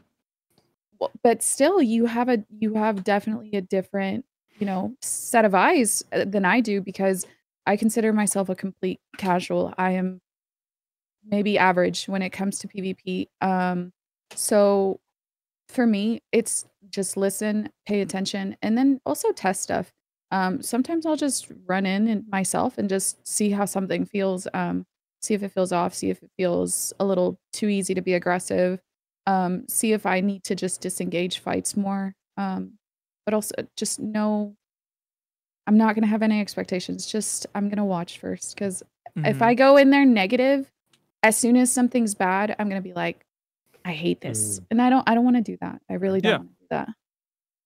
Yeah, and I don't just want to say anyone's there's a really uh, predicting. there's a there's a validity yeah. there's a validity as well to you know like listening to your perspective too. I just want to you know make that known. You know, like there's a validity of listening to someone that you know plays PvP uh, a little bit more casually, um, along with someone that plays a little too much like myself. Different experiences in the game, you know, uh, should um, and does cater to both experiences, and therefore um, equal levels of validity. You know, when when listening to the experience that you have uh, versus the experience I learn a lot. You know, listening uh, to to you and other community members um, who play the game very differently than I do, uh, whether it be frequency, um, style of play, etc. So, um, yeah, just want to make that point. I well, heard Forge All right, that's Daddy the end of the podcast, wanted- everybody. All right. Oh. so so you heard Forge, you heard I- For- Forge Granddaddy and what? I heard Forge Daddy, and I just can't stop thinking about having Blood Gulch in Destiny 2. That would be amazing. Perfect. Perfect, perfect. Cold Um, storage, please. So, um, before we get into a, a few more audience questions, um, we did have like a new weapons balance uh, blog go out today. Mhm. Um, and with it came a lot of changes. Um, like we will be seeing um, a lot of the different um, specs going away, like boss spec, taken spec, minor spec, major spec, and adept big one spec. Those are all like going the way of the dodo. Um, Mhm. w- and we're seeing things like um, we're gonna have what was the one that I saw that would affect PvP pretty heavily here. Um, DMT. yeah, yeah, yeah, the DMT one, uh, where they are making it. Uh, the hip hipfire fantasy isn't landing as well as we'd like, so we've bumped up the rate of fire and added a bit of stability to cranial spike to make this easier to control. At the same time, his strength is skewed a little high on mouse and keyboard and a little low on controller, so we're tuned accuracy and magnetism to address this. Um, what are you guys looking forward to with these changes? So they've made a 140 RPM scout rifle. Mm-hmm. Hooray! Do, do, do you have any idea how broken that's going to be? Hooray! yeah, none of that It's- sounded good to me. I'm gonna Like it's, be it's, honest. it's I, I don't I don't like to be doomsayer. I like to like Mm-hmm. think of things as as oh this is an experiment, but like I I did joke about this on on X whatever. Um, you know, take a shot anytime you know they've reworked DMT. There's going to be a few shots after this, I think. Th- like this is not going to fly. This is going to be so incredibly busted. I, I, enjoy I haven't used it in a while, but is it really as bad as like It's one. that they have to keep on buffing and nerfing and buffing? Is it I really? don't know why? Yes, they keep like s- it's- it's got a grip on that dev team. I swear to God, that gun has a mm. grip on that dev team. It really control. does because it comes back. It'll come back for a month and then it just disappears. I don't see it again for months at a time, and then it comes back, and then it's just like back with a vengeance, and then Mhm. it's gone again. And I'm like, Well, it's gone again, except for the people who are DMT mains, love the gun Mhm. and just want to put like a hundred thousand kills on it. And you know, it's one of those guns that have a little mini game. And anytime there's a gun that has a mini game, I feel like it should be relegated to just the folks for the most part. You know, either folks that want to experiment every once in a while, or you know, the folks that are just diehard DMT users, diehard Hawkmoon users, et cetera, et cetera. Because you just don't want to see these guns in the hands of you know, in 12 people in a lobby, you don't want to see it, you know, three people on each team have it. Mhm. I'm just going to throw this out there. Out of all the cults surrounding exotic weapons, um, we all agree that Fighting Lion is the best cult. The DMT. I would generally cult agree with is- that. Yeah, the DMT cult is scary. Like these people don't shower. They, they, they really do upset. You hear this, Drewski? I'm You- you hear- you hear- instantly, I am Just wanna go ahead instantly and- annoyed. Like if if there's a Uh, Fighting Lion in the lobby, I'm I'm sorry for whoever uses That's it. I'm like annoyance, annoyance your is just the first personality stage of acceptance. instantly. Well, like instantly, I'm just gonna assume your personality just just sucks because No, no, I'm no, sorry. I've- I'm I've- sorry. Bad person. spoken- listen, listen. There's some great people on both sides. I'm no, I'm sorry. I can't do that. Okay, all right. Okay, all right. Not Oh, not for boy. fighting Somebody- lion somebody because needs to shut this guy I down. feel like you just want to Back to the ruin someone's like- day. It it Yep, he honestly feels Dubai like too long. you want to ruin someone's day. Mm. Mm. Well, uh, since we were on the topic of the dev insight there and talking about certain stuff that's going to affect PvP, uh, sneaking in there, the Waveframe grenade launchers. So they Ooh, said that they're going to change it. So now the blast radius stat does affect the radius and the like that. length of it, which is going to be crazy because it says in there that it's going to go from zero to 100 and the baseline was 50 It's going to be 50. which yeah. means what is 100 going to look like i'm 25, afraid did I say? It's already crazy. I've gone against people using like disruption break waveframes with like uh, Rat King or something. It just it's insane. It is insane. So now that I, they can potentially even get a hundred blast radius, and that even becomes even more effective. That's what I'm particularly worried about. But do you, know- do you know what that means, though, in effect? Because we only have two crafted waveframes, explosive personality and forbearance. Those are now yeah. those are going to be the go-tos because you can tune them to be max plus radius, Mm. and whatever that looks like, that's going to be crazy. Yeah, Aren't and generally I would see this go-tos, as though? uh I, I mean, as far like as there was like more ad diversity control, in oh we're talking about in PvP or? PvE. PV. I was talking PvP first, but if we're Oh, going okay, PvE, okay, that's, okay, no, no, okay. no. If we're talking about PvE, we can talk about both.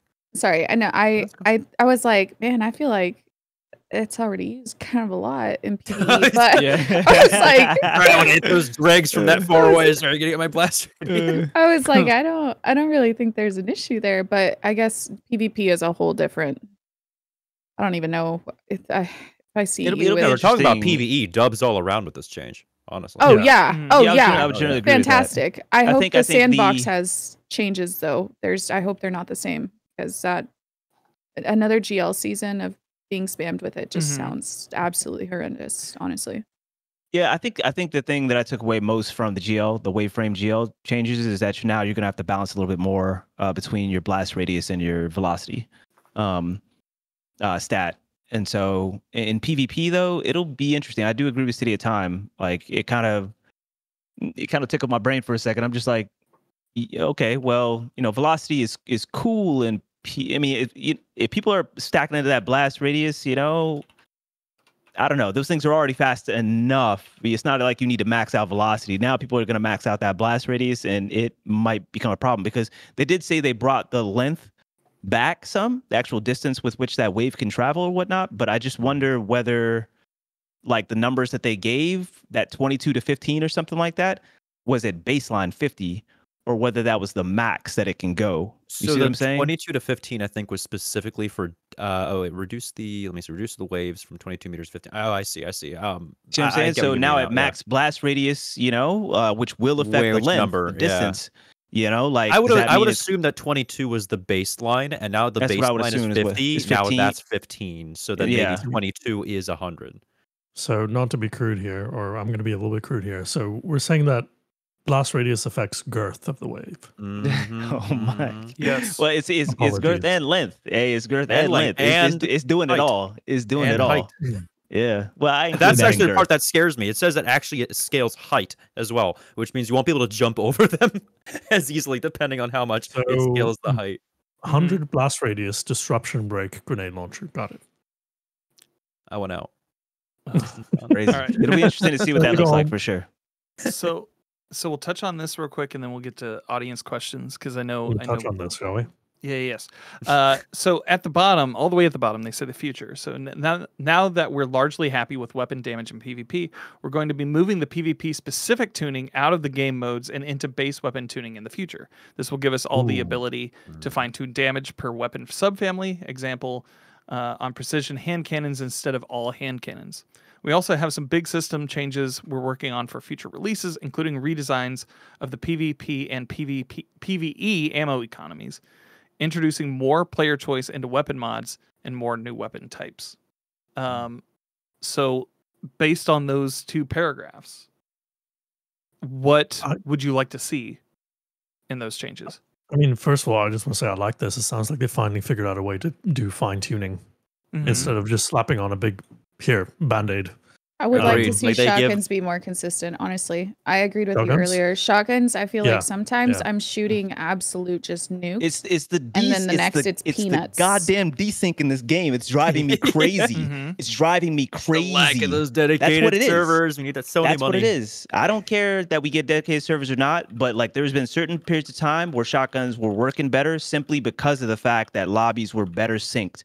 People were Mm. better synced to each other in the lobbies. If there is a slight desync between you and someone else, you shoot and you aim at them, your pellets will not necessarily land where you Yeah. like like they will be slightly to the left or slightly to the right of that in actuality with regards to the actual hit detection of it. And so shotguns don't necessarily need a buff. I, don't- I don't necessarily think. I think it's the it's the desync in these lobbies. The It's driving me I don't. I don't. crazy. Yeah, I don't the think a network. It's driving me crazy. Thing to shotguns would necessarily be considered a buff. But it, uh, consistency is. it- you make if you make yeah yeah. I, I I don't think making something more consistent is necessarily going to make it overpowered. It's just going to make it perform the way it was supposed to. Yeah. right? But like, how can they make it more consistent without doing something drastic to the way the connections work? Because I mean, in that case, it's not really a shotgun buff. Then it's an everything buff because now everything hits better. Well, shotguns all- shotguns you I do mean? seem to be affected. I agree with Angelica. They do seem to be more affected by Yeah. this this stuff than than anything else. The the other downside of this is if like shotguns are already pretty high in the usage rate, especially conditional fi- finality. But even if you take away conditional finality, shotguns are still pretty predominant. You Yeah. know, in the meta, we I end up that's making things more consistent. I Then think that's they part might of Destiny, start pulling. though. Um, You talk about of the ga- shotguns as far Uh, as yeah, oh, I go think it's uh, the way we play the game. A lot of the times, like especially like say, uh, say like quick play, um, it's just a free for all. Whether Mhm. and with abilities right now, you can get so close to other players without Mhm. taking damage, right? That's why I that- use the Shadebinder. I do feel that, of course, shotguns or even fusions are going to be really, really strong because you can get so close to players without taking any hits for it. Um, or you can just backpedal. Um, especially with these AR and SMG metas that we've just had so aggressively, um, you can make mistakes. Now, if you're a 120 player, you can't really make those mistakes because if you miss a shot, you're probably going Yeah. to die. So I don't know. For me, I I, feel like shotguns are always going to be really strong, regardless of how garbage they are. At some point, They're- anyways. They're one of those. They're one of the few specials where no thought is required. It's just like go up to them and pull the trigger. You know, Just and put that, it in they'll their always gut. Yeah. Yeah. they'll always be popular because of that. Um, but I mean, what what time and and Tony were talking about it just comes down to networking ultimately, and until they have systems or maybe they do, and they're just and we're just del- dealing with the realities of P2P player to player uh, networking, and in that case, It's, it's, it's, no- the- it's their it's their matchmaking on top of it because you, you go into like the CBMM like open skill um, playlist that has a good amount of uh, uh, pop to it, you know, such as the new territory playlist, yeah, and it's just like everything for the most part was like hella crispy in there, like the first couple days Yeah. at the very least, you know. So it's just like it's I, I I do not know what's going on. I do know that personally, for me, in my experience, it has gotten significantly uh, frustrating the last month. I would say I don't know what changed, um, uh, but I do notice, like I said, in more connection-based matchmaking or open skill matchmaking, uh, things are working as intended. Uh, it's very difficult for me to make any sort of as- impact some days uh, whenever matchmaking is is stacked with uh, with some sort of like skill-based matchmaking or rank-based or whatever else. It's just it's just a wash whether my play style, you know, I'm saying with a hand cannon and a shotgun, a 140 hand cannon legendary is going to end up playing out um, or Yeah. not, simply because I don't know if my stuff is going to register. Um, I think I think so- something that will help. i- It's, it can be a double edged sword too, because people can abuse this. But having clear displays of matchmaking statistics or networking strength, like other games do, like having a ping counter or you know showing your packet loss or stuff like that. Like if there's a toggleable option to show that on the screen, then we could give better feedback as well. We could clip things that happen and say, listen, this is what happened. You can see the uh the, the, the network situation here and just from my own experience and all these clips i've had i've always noticed that when i'm at so and so ping or packet loss or whatever whatever the things are i'm not a networking expert metric, yeah, yeah, yeah. but you can then deduce trends and then they can perhaps work towards that.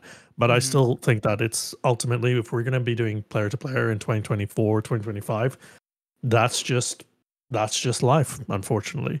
Now one thing they could do that would fix all of this is they could make counterbalance do something I'm, I'm telling you, man. Whatever shit gets real desync, man. I put on that counterbalance, it be working, bro. I'm telling Okay, you. so- I don't All so know. context- context for everybody. right now. Just I can Con- just context him for in the back. everybody, Tony spreads the Right gospel that counterbalances does something on shotguns, even though devs have explicitly stated that it does nothing. I mean, let's be real. You really gonna believe Merc though, man? Come on now. You know what I'm saying? It's, it's like Merc or me or me. I, I seem hella trustworthy. Y'all see my Where's- Twitter? I seem hella trustworthy, Tony, bro. Tony, Tony, where's your exotic weapon that was crafted to perfection, huh? Where's your revision zero? Yeah, you know, uh, I don't know, man. Hawkmoon, Hawk Moon. There's my, that's my revision zero. That's the gun that was made for me. Yeah, yeah. um, but uh, in all seriousness, yeah, um, I do hope that they figure out their networking issues because the game just plays beautifully. Um, like when when things are just when hit detection is just on point. I, I never require things to be perfect. All I'm saying is the last like month or so, whatever has been going on has just been uh, like like really bad on the the networking and and my experience um, playing uh, at uh, a high end uh, or whatever end you want to put me wherever. that- I mean, the devs know where I'm at. I don't know where I'm at. So so yeah. I'll, uh, I'll tell you what. I feel bad for every, regardless of how you felt about. I'm gonna say the S word. Uh, regardless of how you felt about Stadia. Okay, I feel bad about for everybody who never got a chance to give it a shot on a good connection because Yeah, it was. it, It, was. was, nice. the it, it- it was the quintessential Destiny 2 experience in terms of connection. There was no Mm-hmm. lag. Your shots went exactly where they went. There was no melee lunges that whiffed every so often. There was no stuttering and everybody. It was beautiful. And Wow, when I didn't know that. Stadia went to when they opened up crossplay and then it went from only Stadia players against Stadia to Stadia against PC as well. Um, I it just having been on Stadia for two years before they opened up crossplay, completely different game. Completely and that's different that's game. what that's what I that's that's where I see the majority of the desync, you know, because it's crossplay basically. When crossplay came through, the first the like you know whenever crossplay opened up, um, that's when I saw a lot of the desync, especially the PlayStation players in particular. I don't know what it is yeah. between PlayStation PlayStation and PC, but that that desync was like noticeably worse than like anything else with regards to like PC to PC or PC to Xbox. Um, and so you know, I just you know want to push them to continue to you know like work with that and get that crossplay. Uh, like yeah, because it's it's super frustrating. Um, super frustrating. I would like to see statistics wise, like there's data to show whether or not PC players against PC players experience the same or more or less levels of like latency compared to having to deal with PlayStation or Microsoft's um uh whatever cross-play Right, right. system they have. You know what Mhm. I mean? I, I would be really interested to see if they if there's like an increase, like a one or two milliseconds here or there that can affect. That would be interesting at this point, yeah. Because because I do uh, I do think a lot of PC players just have really shit internet. Mm-hmm. I kind of agree with Nomad though that being able to see ping would help because okay, so take me, right? Sometimes I don't know if it's just me being a you know, shitty player or if it's Mm. something in game or if it's internet or if it's the other team or if it's I, Mhm. sometimes I just don't know. I have no idea. I'm like, man, maybe I really am that bad. I'm not hitting my Mm. shots. And then sometimes I'm like, no, I know I hit my shots there. I I literally shoved my shotgun into his gut. How did I do zero damage? Mhm. But I, I if we had some sort of signal to let us know, like, hey, this is not the best lobby, or this is not that. I feel like that would help a lot.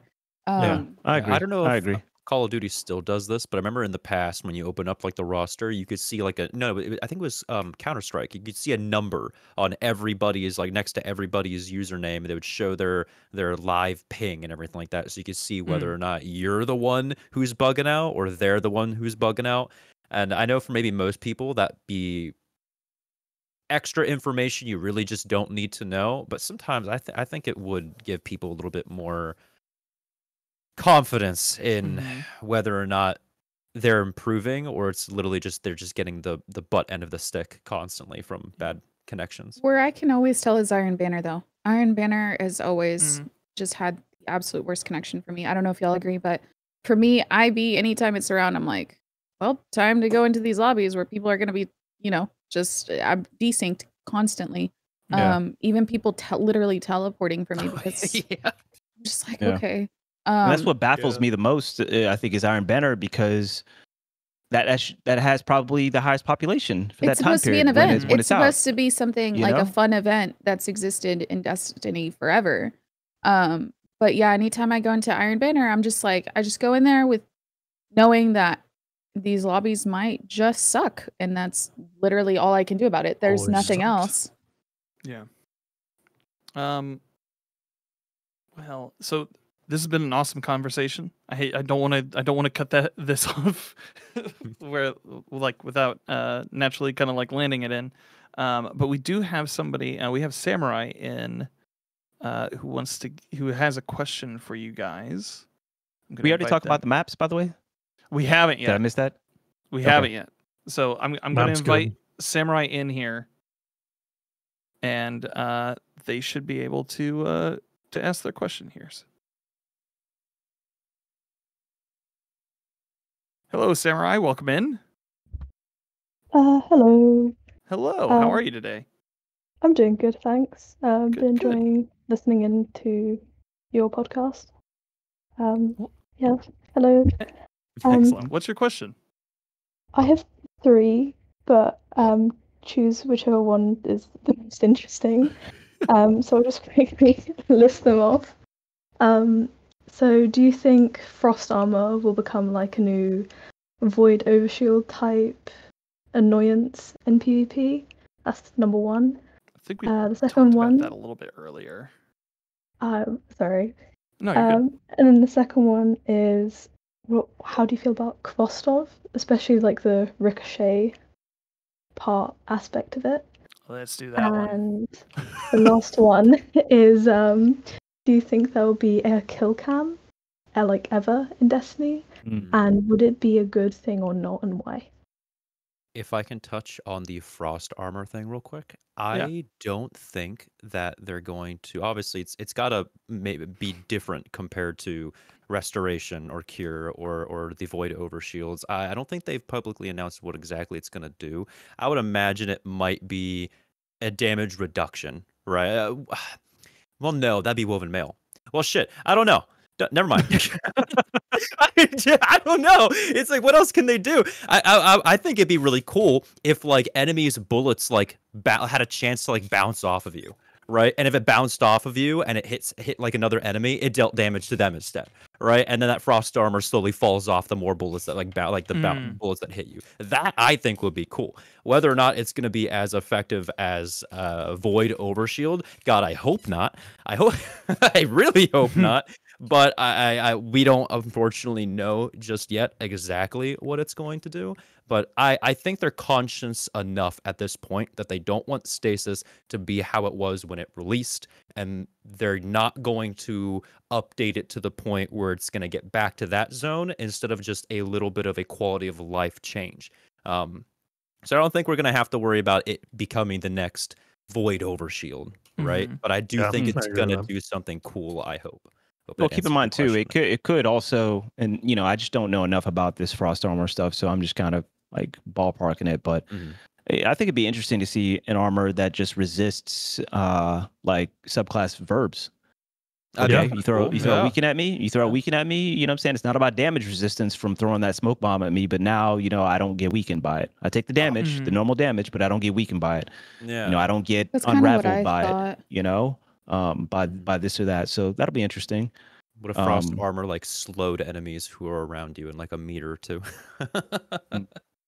I I would no, probably cause please. some problems, right? no, no, no. I don't. I don't even want to. alright, I don't want to give ideas either. Please don't. Ah, okay. don't don't give them ideas. Yeah, as far as Khvostov, uh, I think it'll be interesting. Um, i- you know, for folks that don't have the context, Khvostov, because Khvostov is coming back as an exotic in Final Mhm. Shape, um, and the exotic perk uh, is that on every seventh hit, I believe, Mhm. um, you get like a ricochet on the bullet on the seventh, or maybe like it's got to be just only like one bullet or something on every seventh. I don't think it'd be like every bullet after like hits No, wise, but I think it is every. but I, I seventh bullet, assume, like yeah, I assume it's chaos. every exactly every seventh.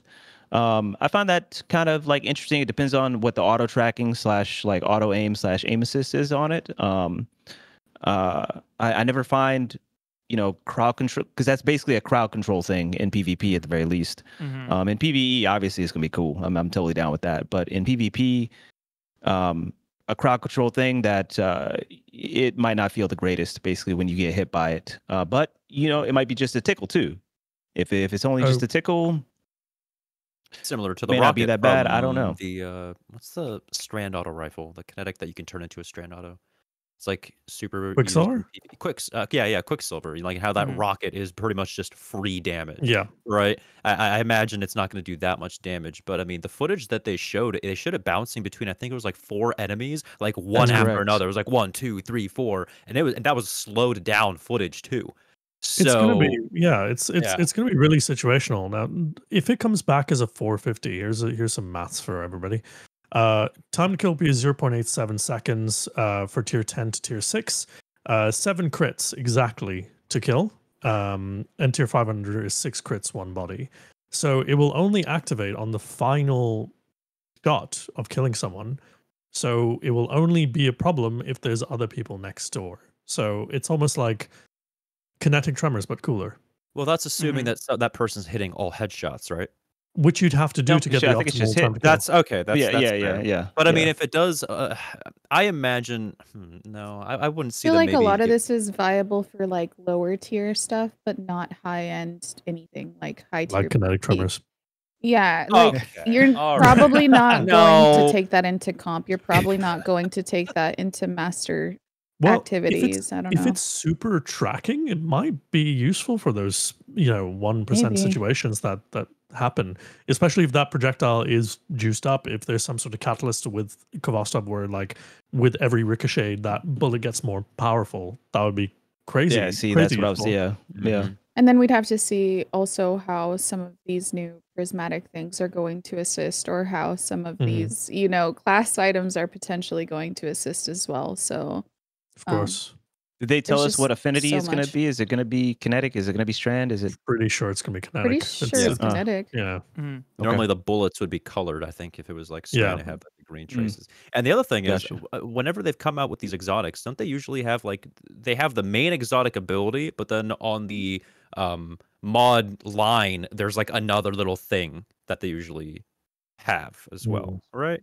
So we only know about the seventh bullet ricochets, but what does that ricochet do, right? So that's why I'm saying you might be right about Mm. it increasing its damage based on how many enemies it jumps between. It that might, tags. you know, who knows? That might be true. Yeah.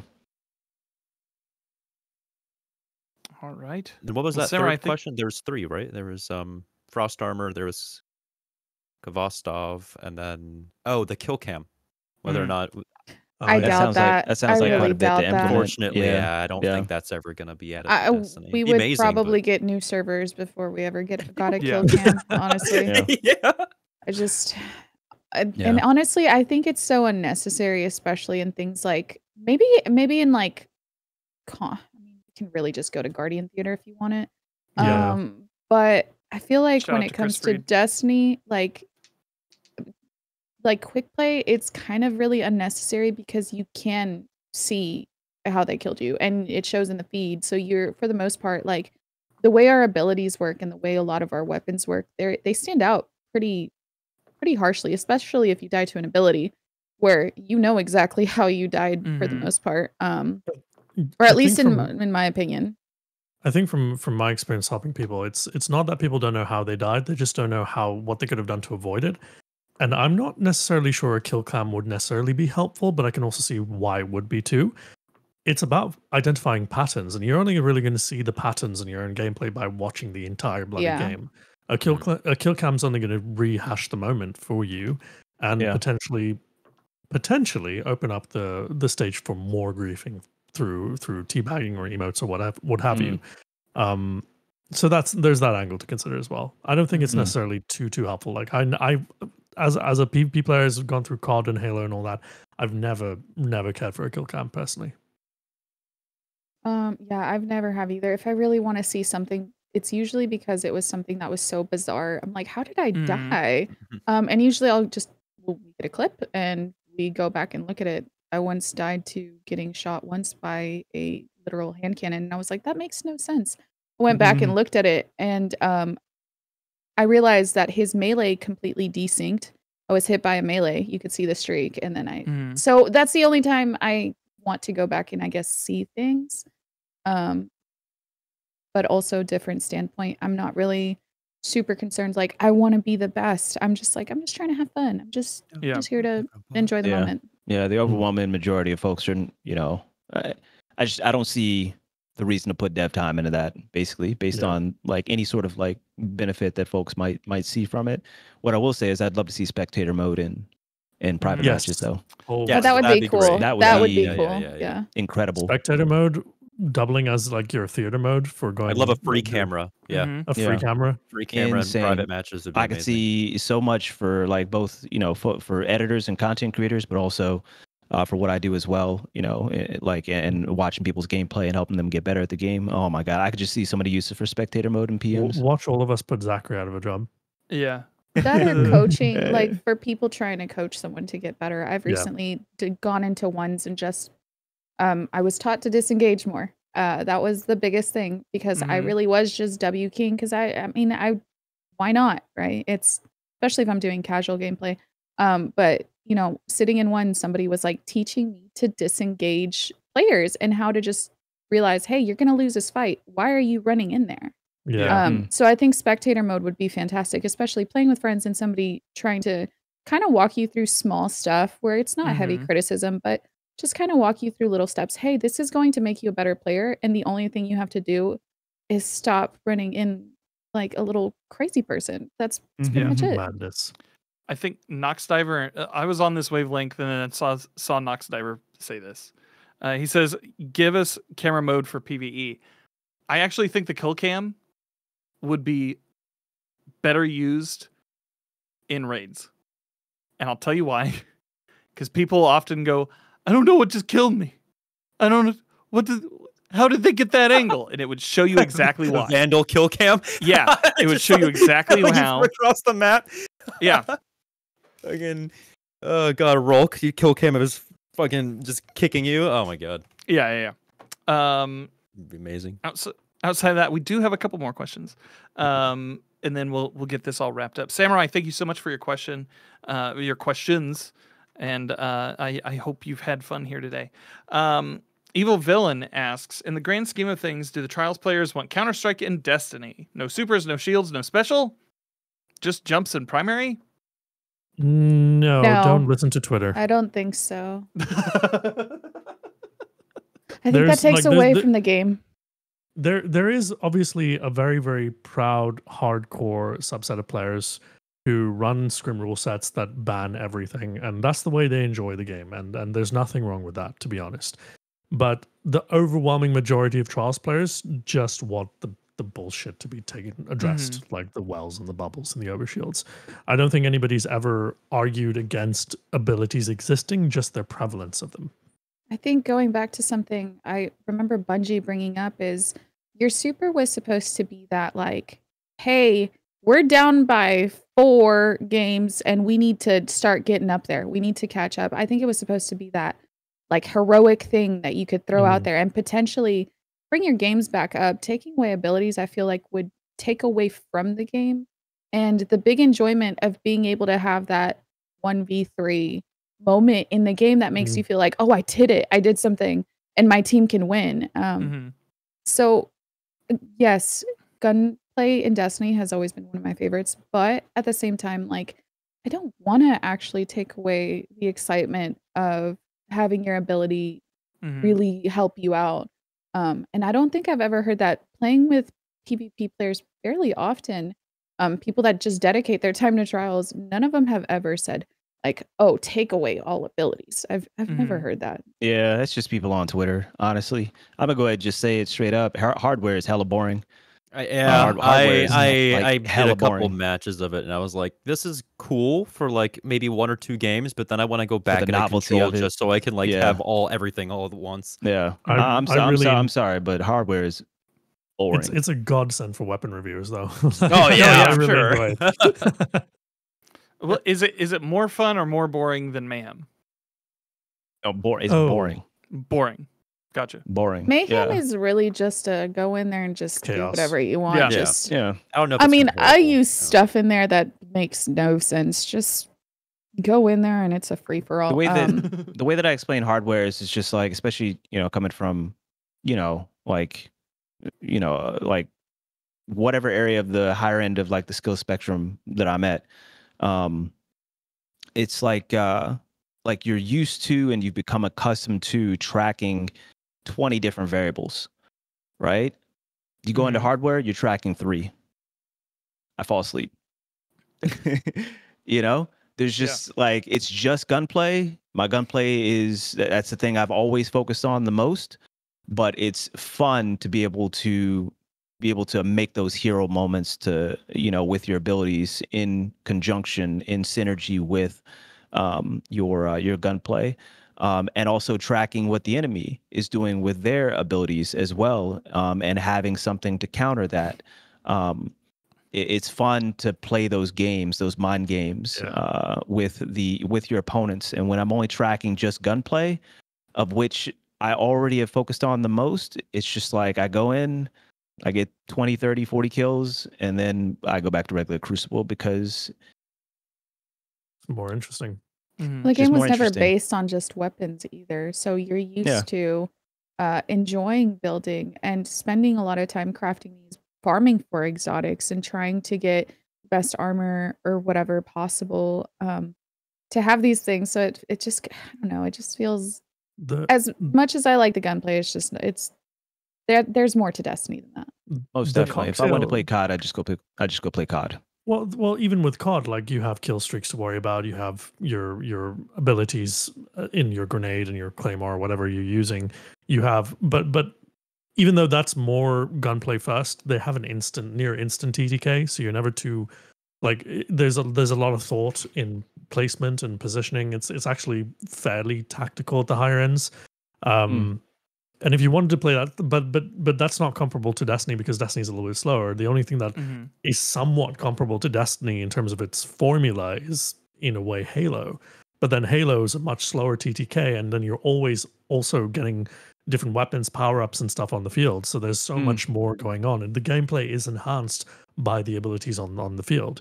And with Destiny, there's no nothing to to replace that that ability formula or that that part of the formula which abilities take up, like the Mm. cocktail of Destiny PvP, which is what everybody's so addicted to, involves abilities in some way, shape, or form. And when we do complain about about abilities, we just say that the abilities just take a bit too much of, of the formula. It's a bit too Mm. concentrated, and we're Yep. just asking to dilute it down a little bit, not take it away entirely.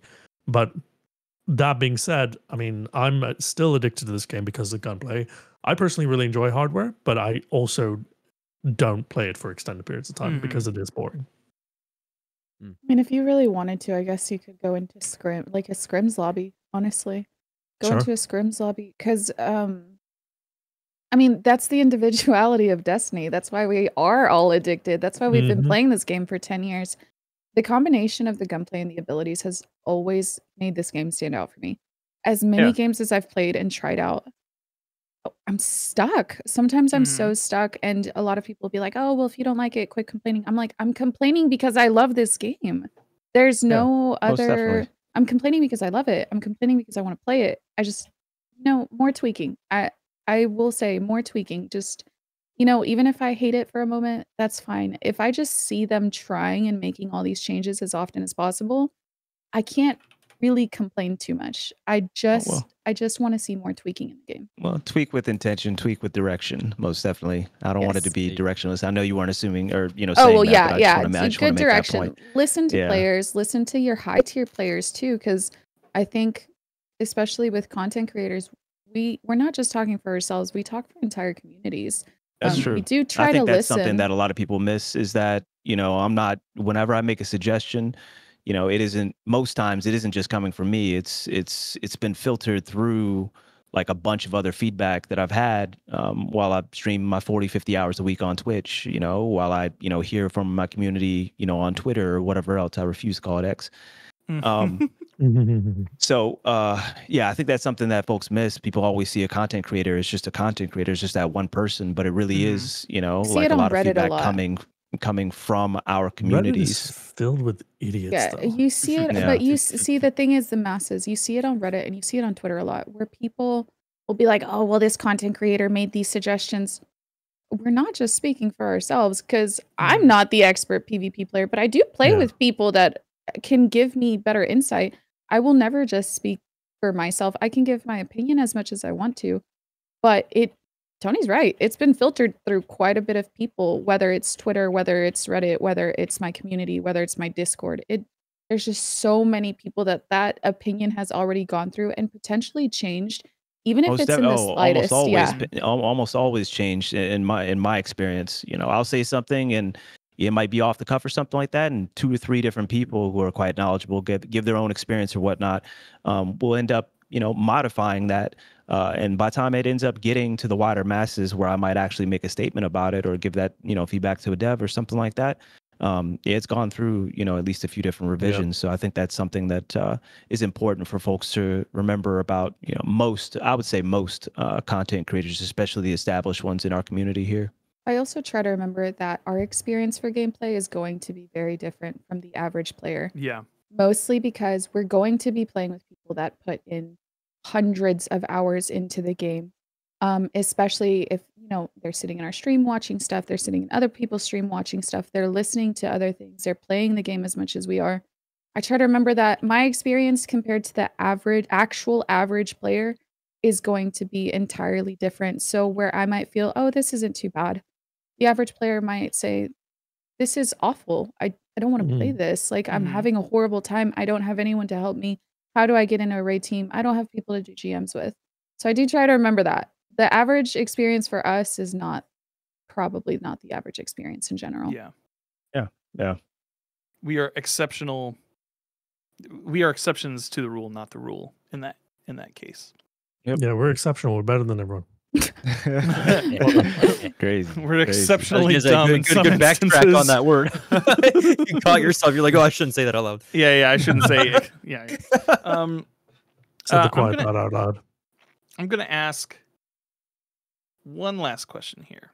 Uh, and then we can not gonna. quickly say what's up with the maps too, by the way, Yeah, yeah, yeah. if that's okay. Uh, and then it's not gonna. It, it's not gonna be uh, John Martini's question about uh, what's the best question. What's the best weapon in the current Crucible meta, and why is it the hung jury? It's not gonna be that one. Uh, We know who that I don't know, Yeah, we man. know who Box that is. breathing slaps. Just- But, just, um, Icicle AI is asking uh, for everyone on the call if you had to delete one weapon perk in PvP, what would it be? oh shoot. Um, One Zen weapon perk. Just get good. One, One weapon perk in PvP. Explosive Sorry. Explosive payload. is pretty high Yeah, up. I agree. yeah. Uh, 100% agree. 100% agree. Yeah. Training wheels on hand cannons. I'll keep on saying it. You know, I as understand if much people as I want to love extend their range out a little bit or whatever, but training wheels. As much Take as 'em I off. love explosive payload, I, I think it's a great perk to have. Uh, it sucks to play against. It really does. Um, It feels like garbage. Um, and as you said earlier, the snipers, they're not there. Why? Almost every single hand cannon you see in the game right now does have explosive payload. Um, if they're not running it, um, it that's preference, but is it better? A lot of the times I think yes. Um, you get that extra pop of damage sometimes depending on what your game is looking like. Um, not only that, the flinch is just so intense that whether even if you're at range, like it might screw up your gameplay in that moment. It sucks, honestly. There's like two weapons that I constantly run into now that are the bane of like any weapon that I try using, and that's mostly because I'm trying to learn about managing recoil on mouse and keyboard because I'm new to this. But um, that is 100% Rose with explosive payload and Ace of Spades. Ace of Spades, for some reason, Oh. I notice has a ridiculous amount of flinch it deals Always for a weapon that Yep. doesn't have explosive payload. It's got high. It's got it like that and uh Mida. Something thing about is, their, Ace their is an coded exotic. high cal. Yeah. Oh, okay- okay. Yeah. Sure. 'cause They have high cal- they have high we'll give cal pass. I think it's- no, it's but always see, that's had what more makes it flinch than special. Mida. That's fair. That's the well, point. I think like there has to be different something- exotic perks. Does it also have to have the ability to send your view into God? Like I don't. yes, because it's a do. scout rifle. I don't know. For me, I, I don't mind exotics feeling like exotics. Uh, my my bigger issue is going into a lobby uh, where everyone has Rose with explosive, and I feel like any gunfight I'm getting into is just a little nonsensical because my screen is yeah. going Yeah, everywhere. most definitely, most Um, definitely. And I so- feel like That's that's. when- Do you play? You play on console, Angelica, or, P, or No, I'm PC? on PC with MNK. Okay. Okay. So for me, the You- flinch is a little no, ag- it's it's aggressive some days. It's frustrating. I agree. You could BM them with Le Monarque and just say, I'll teach you. No, No? no, you see that, that No. smile? He said, "I'll teach you." no. Oh, God, Uh, this no, dude I'm is not. a menace. Uh, I'm usually afraid bow players, glaive players, GL players. Anytime I get into lobby with them, I'm like, yeah, this is it's gonna be so fun. Bow players are actually the most. They just don't care. They challenge anything. They challenge everything and anything. It doesn't unhinged. matter. You might have. They might have heavy. It doesn't matter. But the person will. The bow player will still pretty much challenge anything and everything, and that's a little scary. hey, bow player in this chat, how do you feel about these comments? Hmm. No comment. Mm-hmm. No comment? Okay. Actually, admittingly, ever since they changed how precision frame bows work and you can no longer one shot headshot with times five swashbuckler, I've actually moved off of bows. I can't lie. Mostly the only reason I used it was because how much fun it was to be able to combine it with Shadebinder and Frost Pulse and get the melee kills and get the headshots and get the five seconds one shot headshot to your 10. It was amazing. Now you can't do that anymore. And so it's like I've been Um, trying to Stadia find time other him out. weapons. Stadia time him out. God, I, st- I still feel like bow players are really just they will literally challenge anything and it's a little we have terrifying. problems. I agree. Yeah, it's a little terrifying. Um, I'm not saying it's a bad thing. I'm just saying y'all scare me as much as glaive people do. I when I when I'm running glaive in the crucible, it's just because I don't know what else to run, and so it's it's a lot of a lot of fun just running up to people, just stabbing. Mm. All you got to just do is stab. Just, Just keep stabbing. stabbing.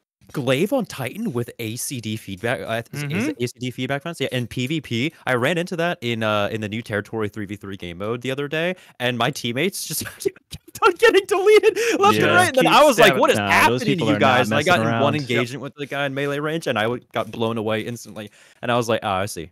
I want. ACDC feedbacks to like literally never change for Yeah. real. Like as Yeah. quint, there's certain exotics on Mhm. Titan that are just quintessential Titan identity exotics, and that is one of them. And I will never be a proponent of of removing that from them, man. I, I think it's so awesome whenever I see I it. also don't think they're too they're like too strong. I think Yeah, they're no. I think they're meleeing well balanced. Now, Yeah. occasionally you will pull off something so obscene that you're like, "What did I just do?" But for the most part, I think they're they're okay. They're I don't Yeah. I don't have an issue with them. Yeah, and they're they're just, it just like like you know Nomad was talking about earlier. Like uh, you can it, it it's easily you can easily telegraph that too. You can easily like discern. Oh, I see ACDC feedbacks. I understand what I don't need to do. You know, against that player, um, Mhm. very very To quickly. make better choices, yeah. Exactly, make better choices against that. You know, some exotics aren't as easily to as easy to read, um, and therefore counter. But I feel like, Yeah. You know, whether you're able to 100% counter or not, you at least understand what you shouldn't be doing, and that is getting into fisticuffs with that particularly unhinged individual. Yeah. Stab you once, shame on you. Stab me Mm. twice. Mm, shame on me. Damn glaives out. Shame on me. You're right. Well, going back to uh, Time's comment about using glaives in the new PV, the new three man PvP uh, playlist, how are you guys enjoying the new maps that just dropped last? Give us. How about how about this? Everybody, Okay. give your rankings one, two, and three. Nomad, start. Cirrus, Dissonance, Eventide. Time. I think it actually goes for me, Eventide, uh, the the Neomuna one, and then Dissonance. I think for me, it heavily depends on if I'm doing threes or sixes. Um, but I, I agree with Nomad's take. I, I, I do. It's going to be Cirrus, Dissonance, and then Eventides. I, I just, I can't get the hang of Eventide. There's too many holes everywhere, and I don't, I don't like it. there's a there's a pacing to Eventide that I've many of my community members have mentioned, and also like I've noticed that is just very very fast, very fast. Yeah. So I want to Um, qualify my take is that I think if you, if if it was a scale of one to ten, they would be within 0.5 of each other. Like I think they're all excellent. I I agree with Mhm. that. I agree with that. I think um, I put uh, I'll go a little bit farther, and if we go by like a tier system, uh, it's for me. By the way, it's Cirrus, barely over Eventide, and then Dissonance. Uh, I'm still trying to trying to get the hang of Dissonance. Those angles are funky on Mhm. Dissonance, especially at high to me level. I've yet to play those angles. sixes. No, I, I it liked is- it in it's sixes. interesting. It's I chaotic. didn't love it in in threes. sixes. Um, in dissonance, I, I love that chaos in, in sixes though. You can Absolutely, find really it good goes- angles. It is very Um, challenging in threes, which is and- a good thing, by the way. Well, and it's everywhere too you large stand for on- threes.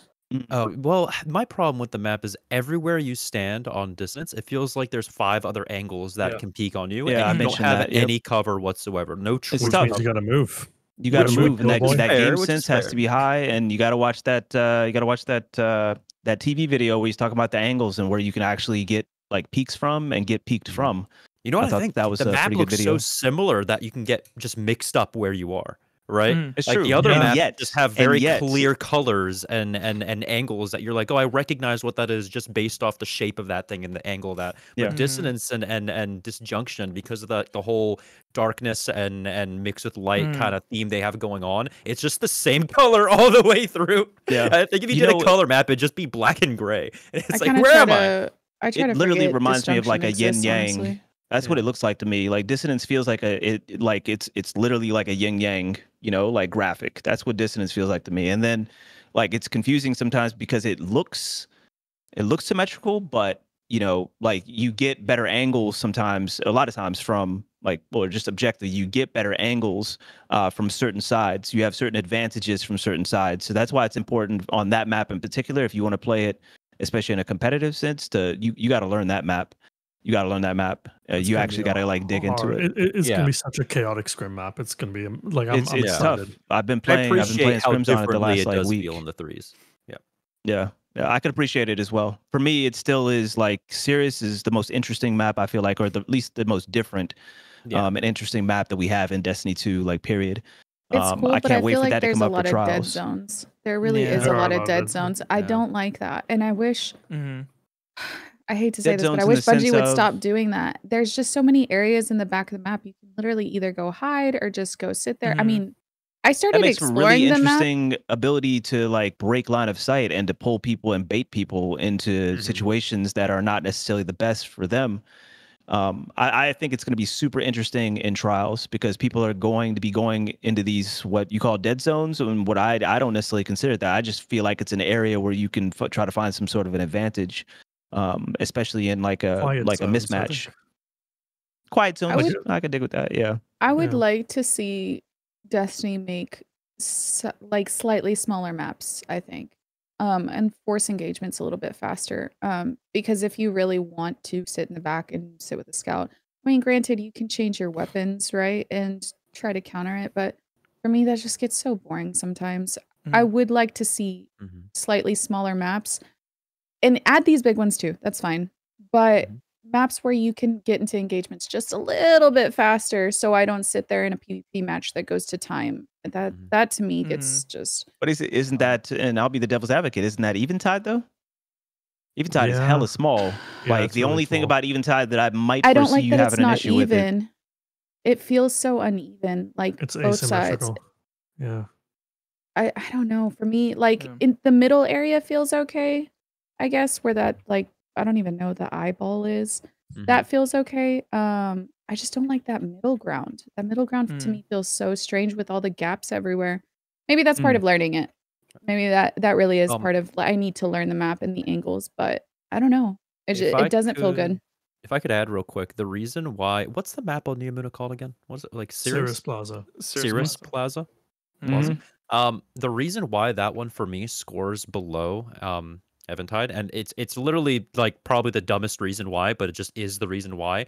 Um, when I did the three v three game mode, one of the game modes was to capture a flag. Like you have to capture a flag, your points go Oh, up yeah. as long as you hold that flag. The only reason that scores below for me is because one of the sides um of the map has that big glass wall. Do you know what I'm talking about? It's like the it's a big old wall that's that's that's glass. Um, when you're standing on the middle platform where the heavy spawns, like you know, there's like the there's it's like the little gap, and then there's um two kind of walls you elevators? can stand on top of them. Yeah, I- would you call them elevators? They're like in, in the very Yeah. middle of the map Yeah. right? Yep, elevators. And you look down towards that glass wall. There's no central break in it. It's just one huge glass wall. So the only way to get into an engagement behind it is to go into the tiny opening on the right and the tiny opening on the left, or die jumping way over it. And oh, the I see what you're saying. I see what you're and- saying. yeah, and the flag at one point spawned right in the middle of that back zone, which means that if you're trying It's to get an right angle the on it, chandelier. yeah, exactly. So if you were trying to get an angle on it or whatever, and you were standing on that middle platform, you had to put yourself in those two tight engage like corners where you're pretty much going to die if you have multiple people shooting you. And I, I wish that glass opening just had like, uh, that glass wall just had a little slit that was just cut out from the center of it. That way you can see the flag area from there if you're standing hmm. and exposing yourself on that top platform. Keep the hmm. glass wall covering a huge portion of it, but keep that little like two three meter opening right that goes uh, goes through the middle so you actually can see that from the center. But maybe some people like that. Maybe some people like there being a zone that forces super tight engagements but that's the hmm. one thing that frustrated me about that map is just too big that glass wall was just too big i thought I see your point. I see your point. All right. Well, folks, I think those are all the questions fit to print. Thank you all so much for being here, and thanks to everybody on Twitch for for watching this. Um, why don't we go around the cube and tell people where they can find you on the internet, uh, starting with Ascendant Nomad. You can find me over on YouTube, Twitch, and Twitixiter, whatever the hell. Um, but uh, prefer Twitch and YouTube. Stadia time. What about you? all right well you can also find me on twix xxter and uh, twitch as well under stadia time and then hopefully if anybody ends up going to uh to gcx this year i should be going as well come up to me sign my goddamn helmet all right sign My the name's helmet on there somewhere. My name's Sign on the there helmet! somewhere. It's- it's- I think it's in the it's on the back side of here, but yeah, yeah, no, it's gonna be great. It's gonna be great. Oh yeah. Yeah, Thank you for having me. absolutely. It was a pleasure to have you. Uh, Tony, what about you? Uh, yeah, you can find me uh mostly on Twitch and of course on Twitter and in the Discord. All ill physics. Every once in a while, on a blue moon, I might drop something on uh, YouTube. Also ill physics. Um, and then you know on other platforms, I've got my link tree in the bio on Twitter, uh, so you can like catch it there. But uh, you know it's illest physics in in in some places, but all the major ones are are ill physics. Uh, but the link tree is there, and you can of course find my links uh, on Twitch as well. So yeah. Heck yeah. And Helica for the win. Thank you so much. I'm sorry that I got your name wrong. That is earlier. that is okay. Oh, is, that is is it okay. Angelica? It Is the is. G- um, oh, I'm I've so kind of- sorry. I was saying Angelica. I I have- understood now. I've kind of just accepted it. Um, I blame Dan. just Oh, say- call I'm me gonna say it whatever you want. correctly It's fine. I Just was- call I've me been Dan- I was Dan Flannelty on Twitter for a very long time, so I understand. I understand. But yes, Um, so what about you? Where can people find you on the internet? And Helica FTW, pretty much on everything. Uh, Twitch and Twitter mostly, although my Twitter is mostly just trolling and garbage. So good luck. But mostly Twitch.